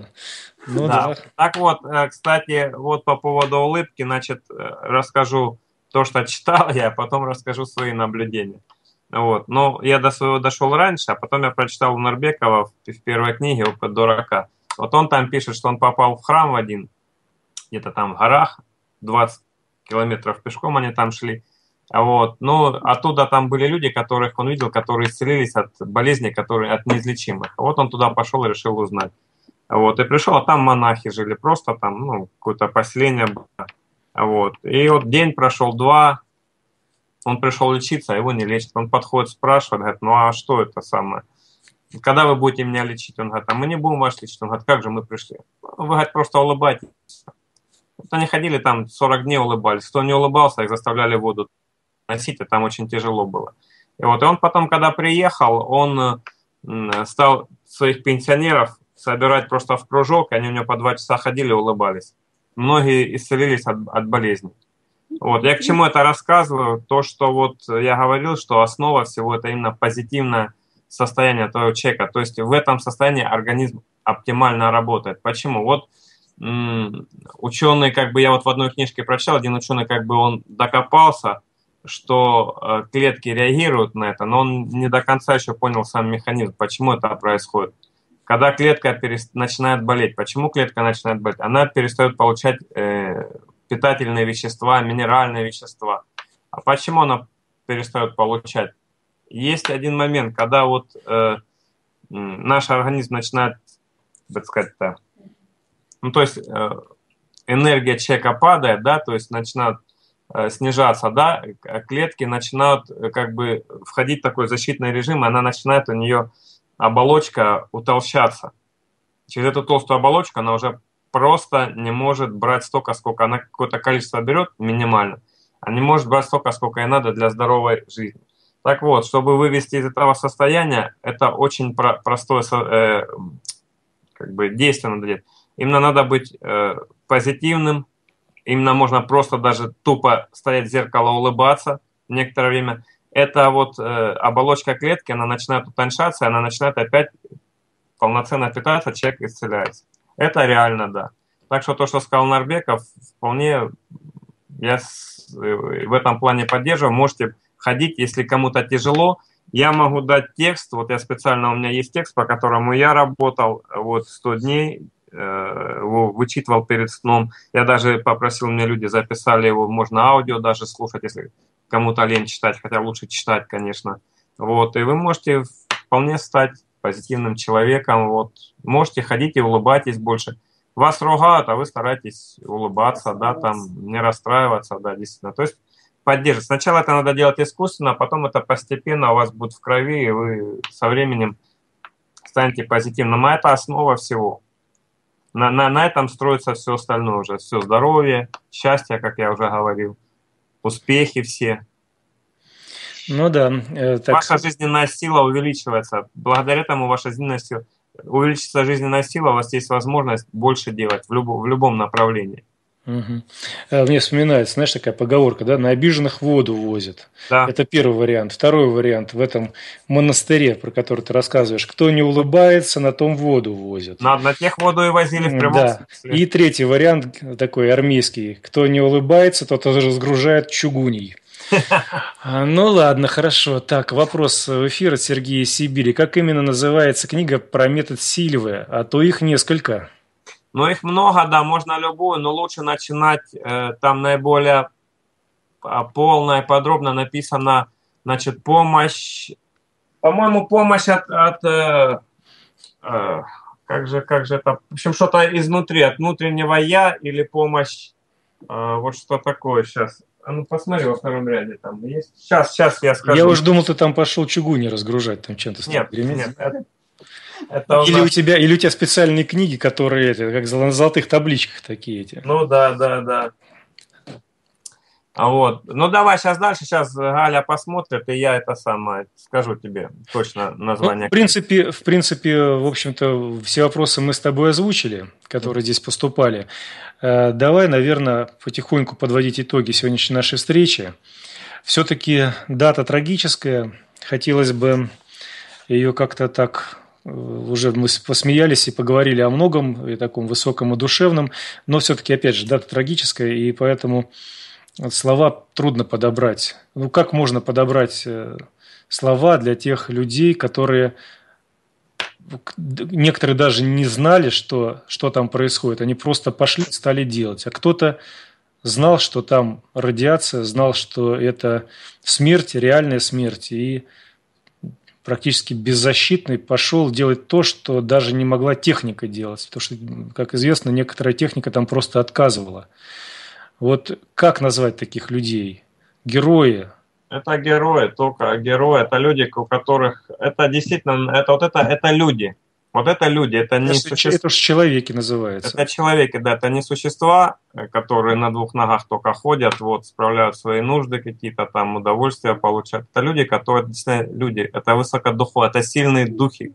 Пришли именно для того, чтобы показать на своем примере, что может человеческий организм, когда он вот, ну, проявляет э, свои качества божественные, то есть то, что есть. И таких, да, людей очень много было, которые шли, гибли, пожар, пожарных там много погибло, но не все погибли. Мы когда вот приехали туда, нам, э, э, да, вот, вот, ага. Это самое, когда приехали, нам там э, три раза в день зачитывали, кто погиб, сколько умерло, какую дозу получили вот там. То есть на, люди, люди, говорят, прямо на глазах сгорали, да? Да, да. Конечно, они просто, некоторые по несколько часов и все. Вот. А некоторые сразу, конечно, конечно, там доза огромная была, ну там, кто в эпицентр попал, вот, и, конечно, это, это страшно на самом деле. Это берет, когда даже вывозили людей из города, лежат люди с мертвыми глазами. Вот вроде человек живой, вроде, да, все вот, глаза вроде есть, нос не, не обезображен. Мертвые глаза, все, аж дрожь по всему телу идет, прям страшно становится. Не страшно, а жутко. Прям как вот какой-то фильм ужасов смотришь. Но вот фильм ужасов ты смотришь, знаешь, что это как бы фильм, а то в жизни это, это на самом деле очень страшно. Это то было два момента, когда вот я тоже э, видел, когда собака шла, упала, и все, и сдохла, и кот шел, упал, сдох. Вот идет, идет, там раз, упал, и все. Это тоже меня приводило в, в шок, потому что, ну, для меня вообще как бы вот эта смерть, да, она, ну, немножко, ну, как сказать, я другого плана человек. Мне нравится вот созидание, я уже говорил, и смерть, она, она, она нужна, да, но она немножко действовала на меня в то время очень так э, отрицательно, я очень сильно переживал это. А вам, вам рассказывали вообще какие-то предосторожности, какие-то там, может быть, дозиметры были или что-то еще? Ну, у меня дозиметр был как командира отделения. Я мерил, три раза сдавал э, данные командиру отделения. Были у нас о, э, эти, как его, не ОЗК, по-моему, нет, ну да, да, ОЗК, по-моему, наз, назывались. А вот защитные костюмы. Вот я же говорю, когда мы туда приехали, деды в шок, в шоке были, потому что у них все костюмы там без пуговичек, без этих, лишь бы быстро нормативы сдавать. Вот. Повезло молодым и сержантам по, шаим, по, по положению надо было, чтобы все в порядке было. Вот, давали нам респираторы, вот, э, сейчас не помню сколько раз, ну, наверное, три раза давали, три раза или, ну, наверное, три раза давали э, мы сюда перед, э, пили или перед едой, или после, сейчас не помню, нам йод давали. Мы, мы пили понемножку. Какую-то дозу, сейчас я не помню, давали. Вот, для, чтобы насытить щитовидку э, йодом, вот, э, чтобы ради, радиоактивный йод не это самое, не это, как его, как говорится, ну, не впитывался в щитовидку. Щитовидка очень хорошо его впитывала. Вот, mm-hmm. поэтому, да, вот такое было, да. Да. Ну, в общем, низкий поклон здесь. Что, другого слова не... Потому что слов, вот когда, когда мы говорим слов. о чем-то, когда говорим о чем-то таком обыденном, ну, можно много слов подобрать. Э, можем о погоде рассказывать бесконечно много. Кто-то о соседке своей может или соседе рассказывать, как он там достал, что-то сделал. А когда касается какого-то героического поступка, как-то все слова уходят, они просто теряются и не подберешь. Вот можно выразить самопожертвование, герой, а дальше что?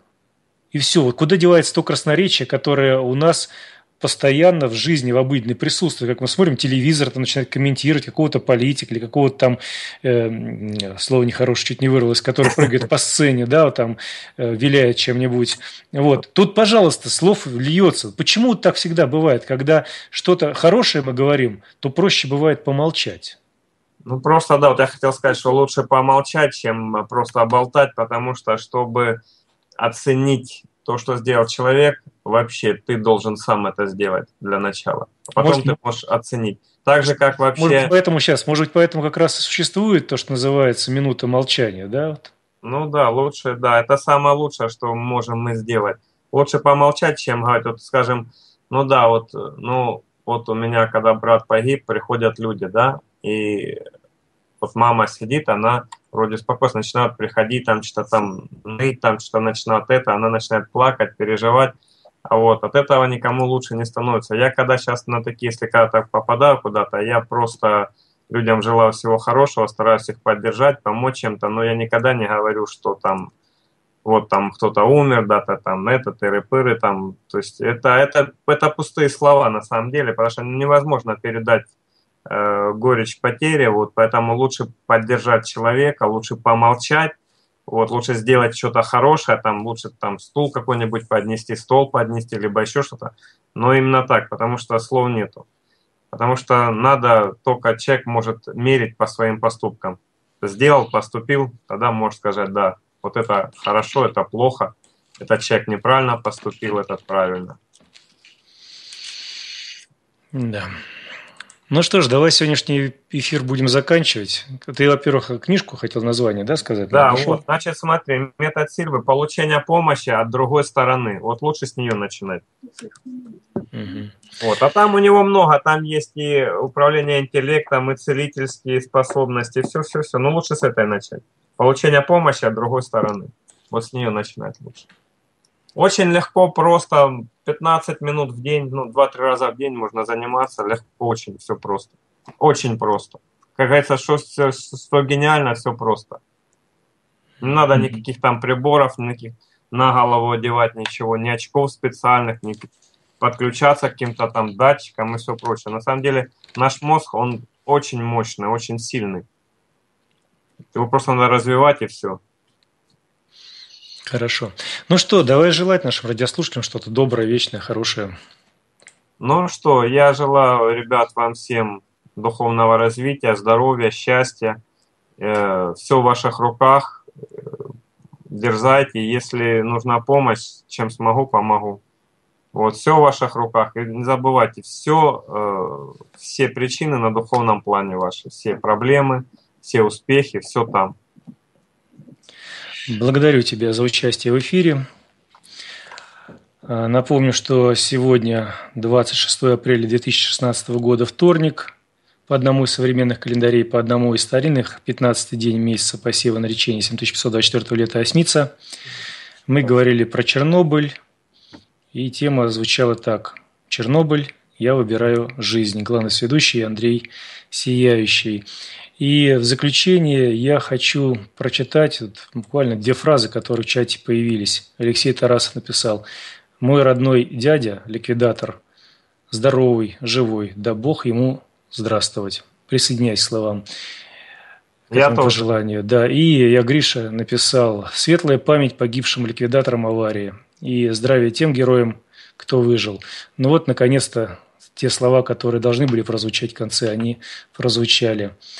Я желаю всем добра и хочу сделать просто маленькую паузу в конце эфира перед тем, как мы уже включим автономное вещание. Просто давайте чуть-чуть помолчим. До новых встреч, услышимся.